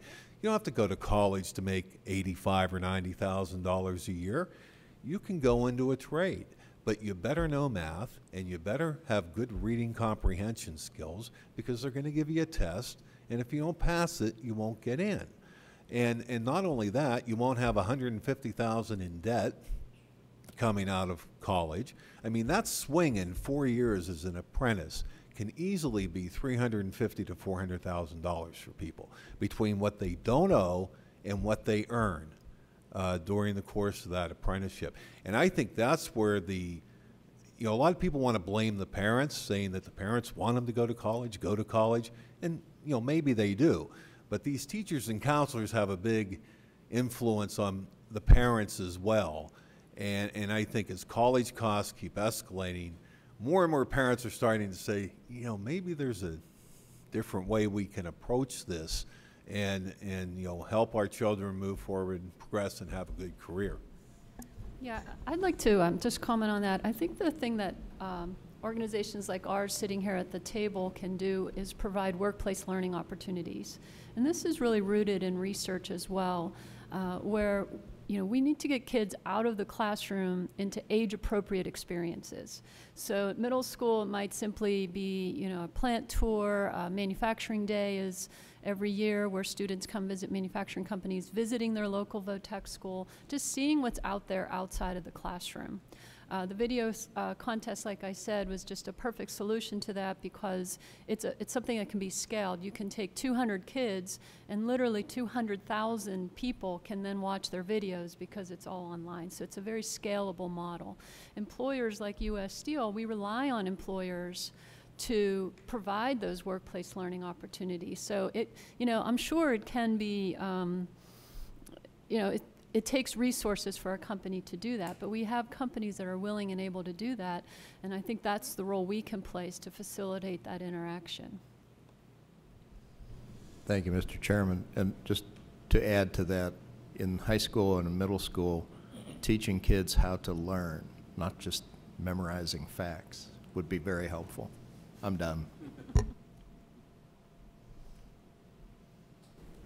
Thank you. And Jeff, I apologize. I had to step out and appreciate your final finishing your testimony on that. I actually have a couple questions myself.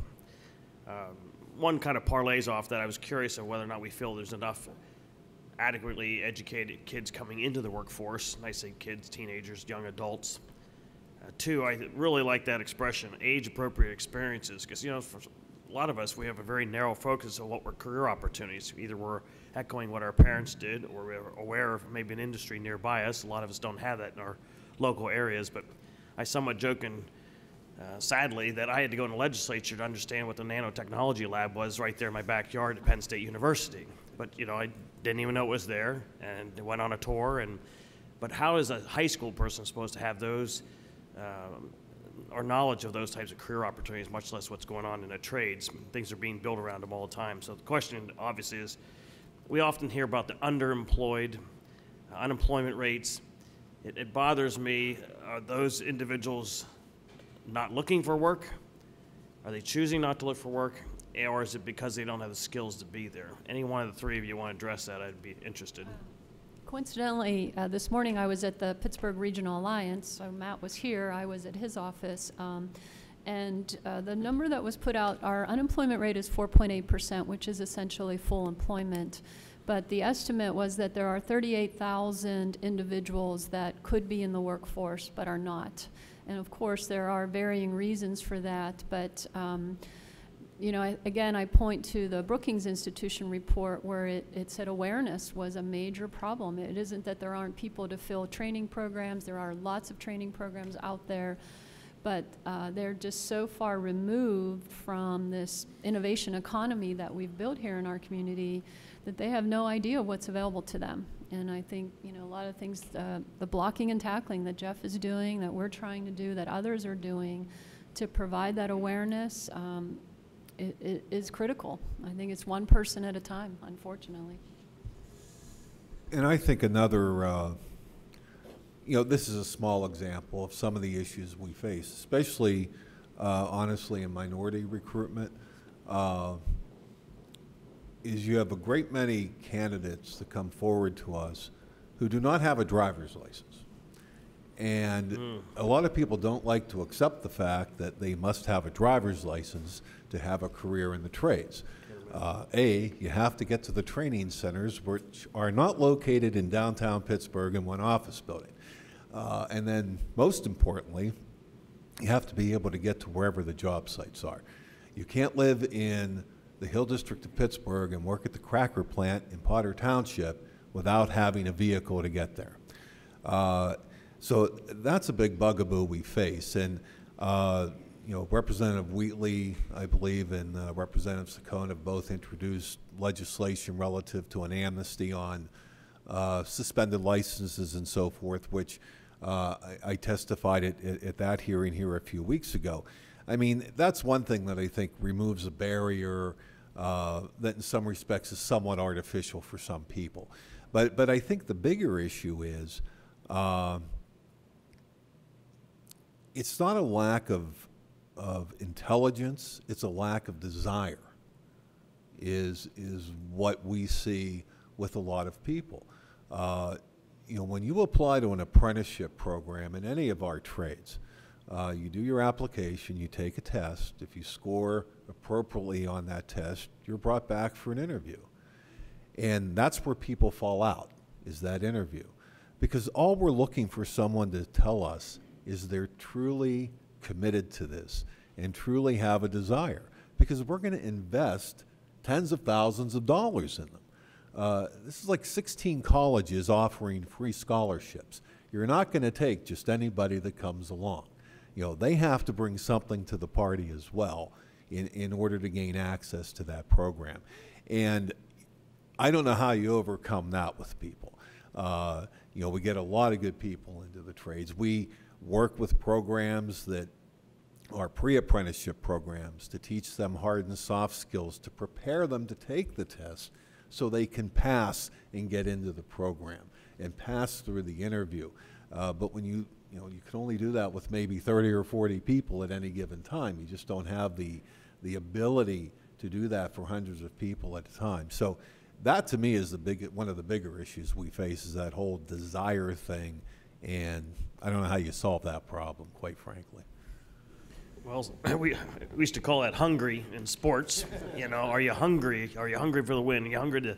And, and I feel the same way regarding jobs. I, first of all, am enthusiastic about working. I like work. I've been working since I was 11. But, you know, how do we get that desire to fundamentally want to learn to make something? When I speak in schools, one of the things I try to encourage young people is learn to make something. I don't care if you just build a box. You know, learn to manufacture something. Know how something is made and I worry that sometimes the push to go to electronics and computerization has entertained them at a different level that has taken away from that desire. But fundamentally, somebody had to build that computer. And the whole concept of how that's files on top of files on top of files, you would think would stimulate that. But I want to stay on this topic real quick with one last question on that. Uh, as a policymaker, do you think that our generosity in our welfare system is becoming a deterrent for some of these 38,000 who could be employed but are not employed. And I'm not making that specific to your region, but this is a common thing we hear across the Commonwealth that we don't have enough workers, we don't have enough that are trained, we don't have enough of the soft skills, and we just don't see the hunger and the desire. I worry as policymakers considering Pennsylvania is more generous than most states. We have tremendous amount of waivers in majority of our counties away from the federal standards of who qualifies and who doesn't and when you should be going back to work. Do you see that as a deterrent? Why should I go get dirty? Why should I have to sweat? Why should I have to get up early and drive somewhere if I'm going to make a certain amount of money by the government sending me a check? Well, I, I think at some levels it is a deterrent. Um, I don't know that it's so much for what we offer, uh, because the reality is you really have to have that. Uh, if you don't have the drive to pursue the $20,000 a year job, you're not going to have the drive to go up and, and get up at 5 o'clock every morning and drive for an hour and 10 minutes to work and then work for maybe 10 or 12 hours because there is a lot of overtime involved in construction, you know, and then get back home at 8.30 or 9 at night and do it all over again. Now, you're going to make great money at it, uh, but that still takes a lot of commitment to do it. Um, so I'm sure at some level that impacts that. Uh, I guess in my mind, I, I, sit there and think, you know, why would I want to be getting X when I could go out and make this.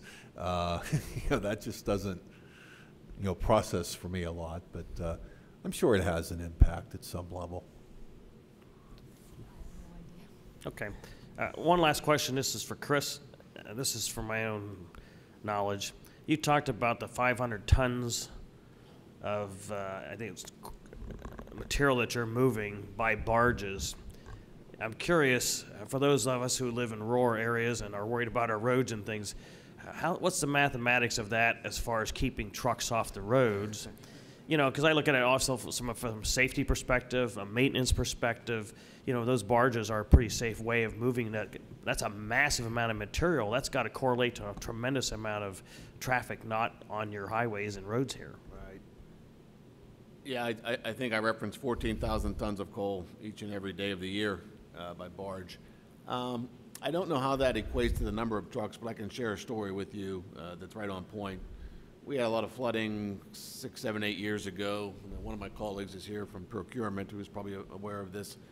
Um, And one of the barges uh, capsized at one of the locks, and it stopped river traffic on the Ohio River, uh, and we were unable to bring coal by barge to Clairton. So we, we developed a plan to continue to operate, because you can't shut down the coke ovens, you gotta run. And we brought it in by truck primarily, and it was very difficult, a lot of truck traffic, uh, bad for the roads, bad for the environment, expensive for us, very difficult situation, couldn't bring in enough fast enough to run at the levels we needed to run. So the river system's critical.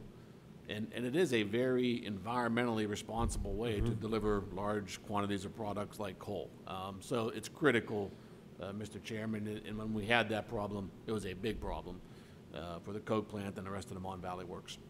Thank you. I believe our host, Representative Ortitay, has a question or two, and then we will close out. Just one, and I'll keep it brief.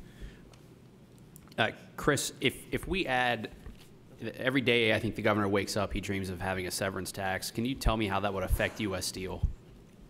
Well, it depends. Um, the the amount of natural gas we purchase is significant. You you, you heard my testimony. Um, I have not calculated the impact uh, that our supplier would pass on to us uh, from a cost standpoint. But I can't comment on the gross receipts tax, uh, because I did calculate that, because that was seriously being considered. And just the gross receipts tax increase on natural gas consumption, I think it was about six point five percent being recommended. That would have been anywhere, depending on price, three to four million dollars a year increase in our cost. Um, I'm sure a severance tax would be harmful, uh, we'd be less competitive. And uh, interestingly, we are looking at some opportunities where we may be able to secure our own natural gas. And you guys wouldn't just absorb the cost, you'd pass it on to your customers as well. It's not always that easy in the steel industry. Uh, I, I wish we could say that, but no, it ends up uh, probably impacting our bottom line. Uh, it makes us less competitive uh, in a steel industry globally that's fiercely competitive today. And that's internationally. Representative Walsh, then Representative Nelson. Uh, Yes, this is more uh, for uh, Petra and and Jeff. Um, In your outreach uh, efforts toward uh, school districts, um, I guess I'd like to know, in your opinion, do you find them uh, to be very receptive to your efforts or more uh, resistant? And I guess the reason for my question is because I always hear from various uh, school districts touting their um, you know, average SAT scores and college admissions and college graduates, but I don't hear, you know, they're touting their numbers for entering uh, either manufacturing jobs or or uh, apprentice uh, programs. So, uh, can you give me an idea as to uh, how Yeah, you find that? We have found them to be very, very receptive. In fact, uh, we probably have more uh, school districts interested in participating in a variety of programs than, than we can even handle. So I think, and I've seen a big change in that actually over the, you know, I don't know, last five to 10 years on that. Uh, I would agree with that. I mean, the reality is, uh, you can't, it's hard for us to keep up with every opportunity we would have, especially when you're covering 33 counties and, and, and the focus on the 12 counties in this region.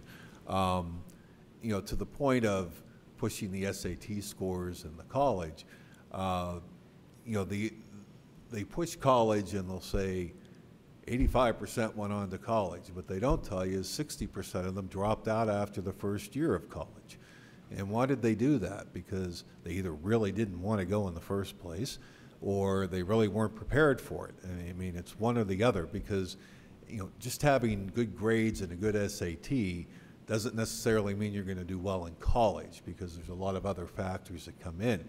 Um, and I think that's part of the problem why uh, the trades and other, you know, manufacturing, other, uh, you know, skilled types of jobs that don't require that college degree uh, don't get the attention they deserve because the districts don't report them. They're not held accountable for, uh, you know, the 60% went to college and that's great. Well, what happened to the other 40% of the kids? You know, tell us about, you know, the 10% that went into construction trades, the 10% that went into manufacturing, the 10% that went into computer programming, many of which probably don't, or don't require a four-year degree. Uh, you know, and, and to that, Harvard and Georgetown and you name any university that studied this, I mean, the numbers vary a bit, but by and large, what they're saying is we move forward here, going to 2020 and beyond, 57 to 60 percent of jobs will not require a four-year college degree. They'll require two-year certification, technical degrees. Uh, 30 percent will require college, and 10 will be unskilled. And, and that's where the economy is going, yet we still continue to push that old model. Uh, thank you very much. And as a, uh, uh, a guy with three young children, I, I, I really appreciate that. Thank you, Mr. Chairman. Um, first part of this is just a, a testimony to the reality of your um, story, Jeff. And you know, as a as a dad and a and a father who's at the age of seeing kids graduate, you know, firsthand, 19-year-olds that have got on both um, with the operating engineers and the pipe fitters that are working hard, requiring them to go to bed early and wake up. So once they start realizing and making the money, I mean, it's, it's true that, you know, that cycle, whether it's someone my age that is busy in the, in the trades, you know, when they're bringing home those big dollars, they're residing their house, they're buying new windows, they're putting in a swimming pool. All of that is invested and reinvested in the economy. And um, your story is very much true. You know, in building, um, Chris, on what you had shared about the blast furnace, you know, I've been fortunate as a subcontractor to work on those blast furnaces and on those BOPs. And I, I know you had mentioned the thousands of U.S. Steel employees, but all of my work at all of those types of facilities as, as a subcontractor and the hundreds of subcontractors that are brought in in addition to the U.S. Steel employees to be able to do that work. Um, our work only hinges on the reinvestment decisions that U.S. Steel chooses to make by um, upgrading or continuing to renew those processes. Can you map out in layman's terms how the net operating loss impacts your investment decisions? Because, I mean, we don't work unless you reinvest, and that reinvestment net operating loss is very glossy. You know, Sure. it's, it's hard for people to grasp. Sure. Uh, Representative Nelson, I'll, I'll be glad to do that. I'll keep it at a simple level because that's the only way I could probably explain it. Um, The, to your earlier point, though, I just want to recognize Jeff and his organization. We do employ a lot of building trades and contractors, and they do an outstanding job. We have a master agreement with the building trades, and, and they do an outstanding job working uh, with U.S. Steel. The net operating loss carry forward uh, is probably our most important uh, tax item uh, from a public policy standpoint, and I want to thank uh, the House for continuing to improve uh, that tax policy um, here in Pennsylvania. When you're a cyclical company like U.S. Steel and many others, I mean, you have some years where you're making money and you have other years when you're losing money. In our case, those are probably pretty significant trends, troughs, uh, that we go through. Uh, I think just about in every other state except Pennsylvania, and I think New Hampshire also might be the only other state, uh, you are not allowed to carry forward those losses to offset uh, your, your profitable years from a taxable income standpoint. Uh, So even the federal government allows NOL carry forwards, uh, but not Pennsylvania. So in essence, uh, we're not only paying a high CNI tax rate, but we are not allowed to use what every other state in the country and the federal government use, a net operating loss carry forward to reduce our taxable income in those years where we happen to make money. So it's a significant problem for us. Uh, It makes our, our tax rate in Pennsylvania actually higher than 9.9. So we, uh, we would love to see continued improvement. Uh, We understand the budget process is difficult uh, from a revenue standpoint, but, you know, Pennsylvania really needs to eliminate the cap on the net operating loss carry forward and be competitive with other states. It's bad enough we have the highest CNI rate in the country, but we also are one of only two states competing with New Hampshire uh, that does not allow uh, the offset from the NOL carry forward. So that's something, and it's not, not just big cyclical manufacturers, even smaller startup companies uh, are, are very concerned about this, because usually, as you well know, when you start a small business, your first couple years, you're gonna have a few losses. You hope to carry forward those losses to offset um, uh, those years that you're profitable. And there was a recent uh, Supreme Court decision, as you well know, the Nextel case, which eliminated the smaller uh, NOL carry forward, the hard number, I think it was 3.5 million. Uh, Someone's here that can help me with that. Uh, So now those companies have to carry forward a percentage, uh, which I think it's up to 35% now. So the small uh, startup companies are also going to be hit even harder uh, by Pennsylvania's current tax policy on the NOL carry forward. When I, I see that um, if Vermont is indeed the only other state that doesn't have that, um, you don't have a facility in Vermont. I don't think but they're a big manufacturer. uh, You do have facilities in, in, you know, estimated, not just globally, but probably eight other states, you know, in the United States, maybe, maybe even more. Yes. So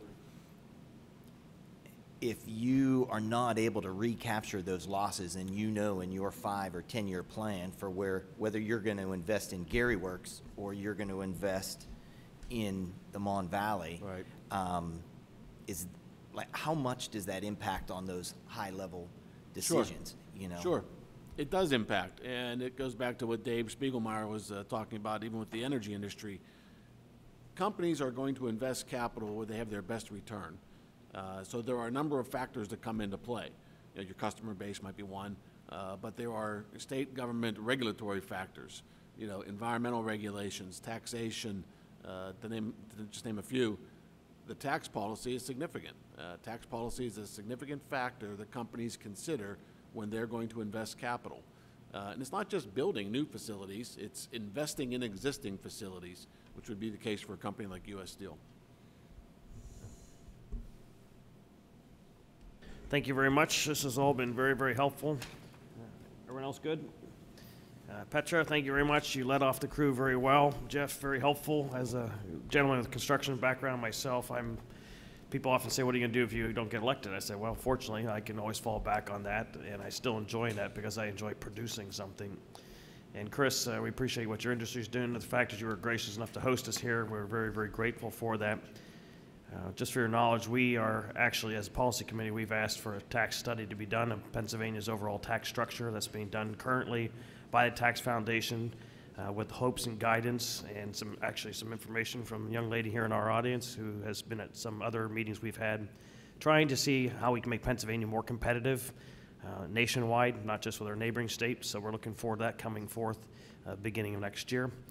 And you folks are all an intricate part of that. So on behalf of the House Policy Committee, we're very grateful for having you here, having us here, and you testifying before us. I do want to thank Renee Deal, who's been a big help putting us together, our audiovisual crew, who always tries to make us look good in spite of ourselves, and to my own staff, Bob and Morgan, who have to deal with me, but are very good at coordinating these events. We realize as policymakers, uh, we don't have all the knowledge, and we depend on you folks in the front line that are dealing with us on a day-to-day basis. And I'm very fortunate to have some great colleagues here and very bright, and we will take this information back and share it with other members. Seeing no other further questions, this hearing is adjourned. Thank you very much. Have a great day.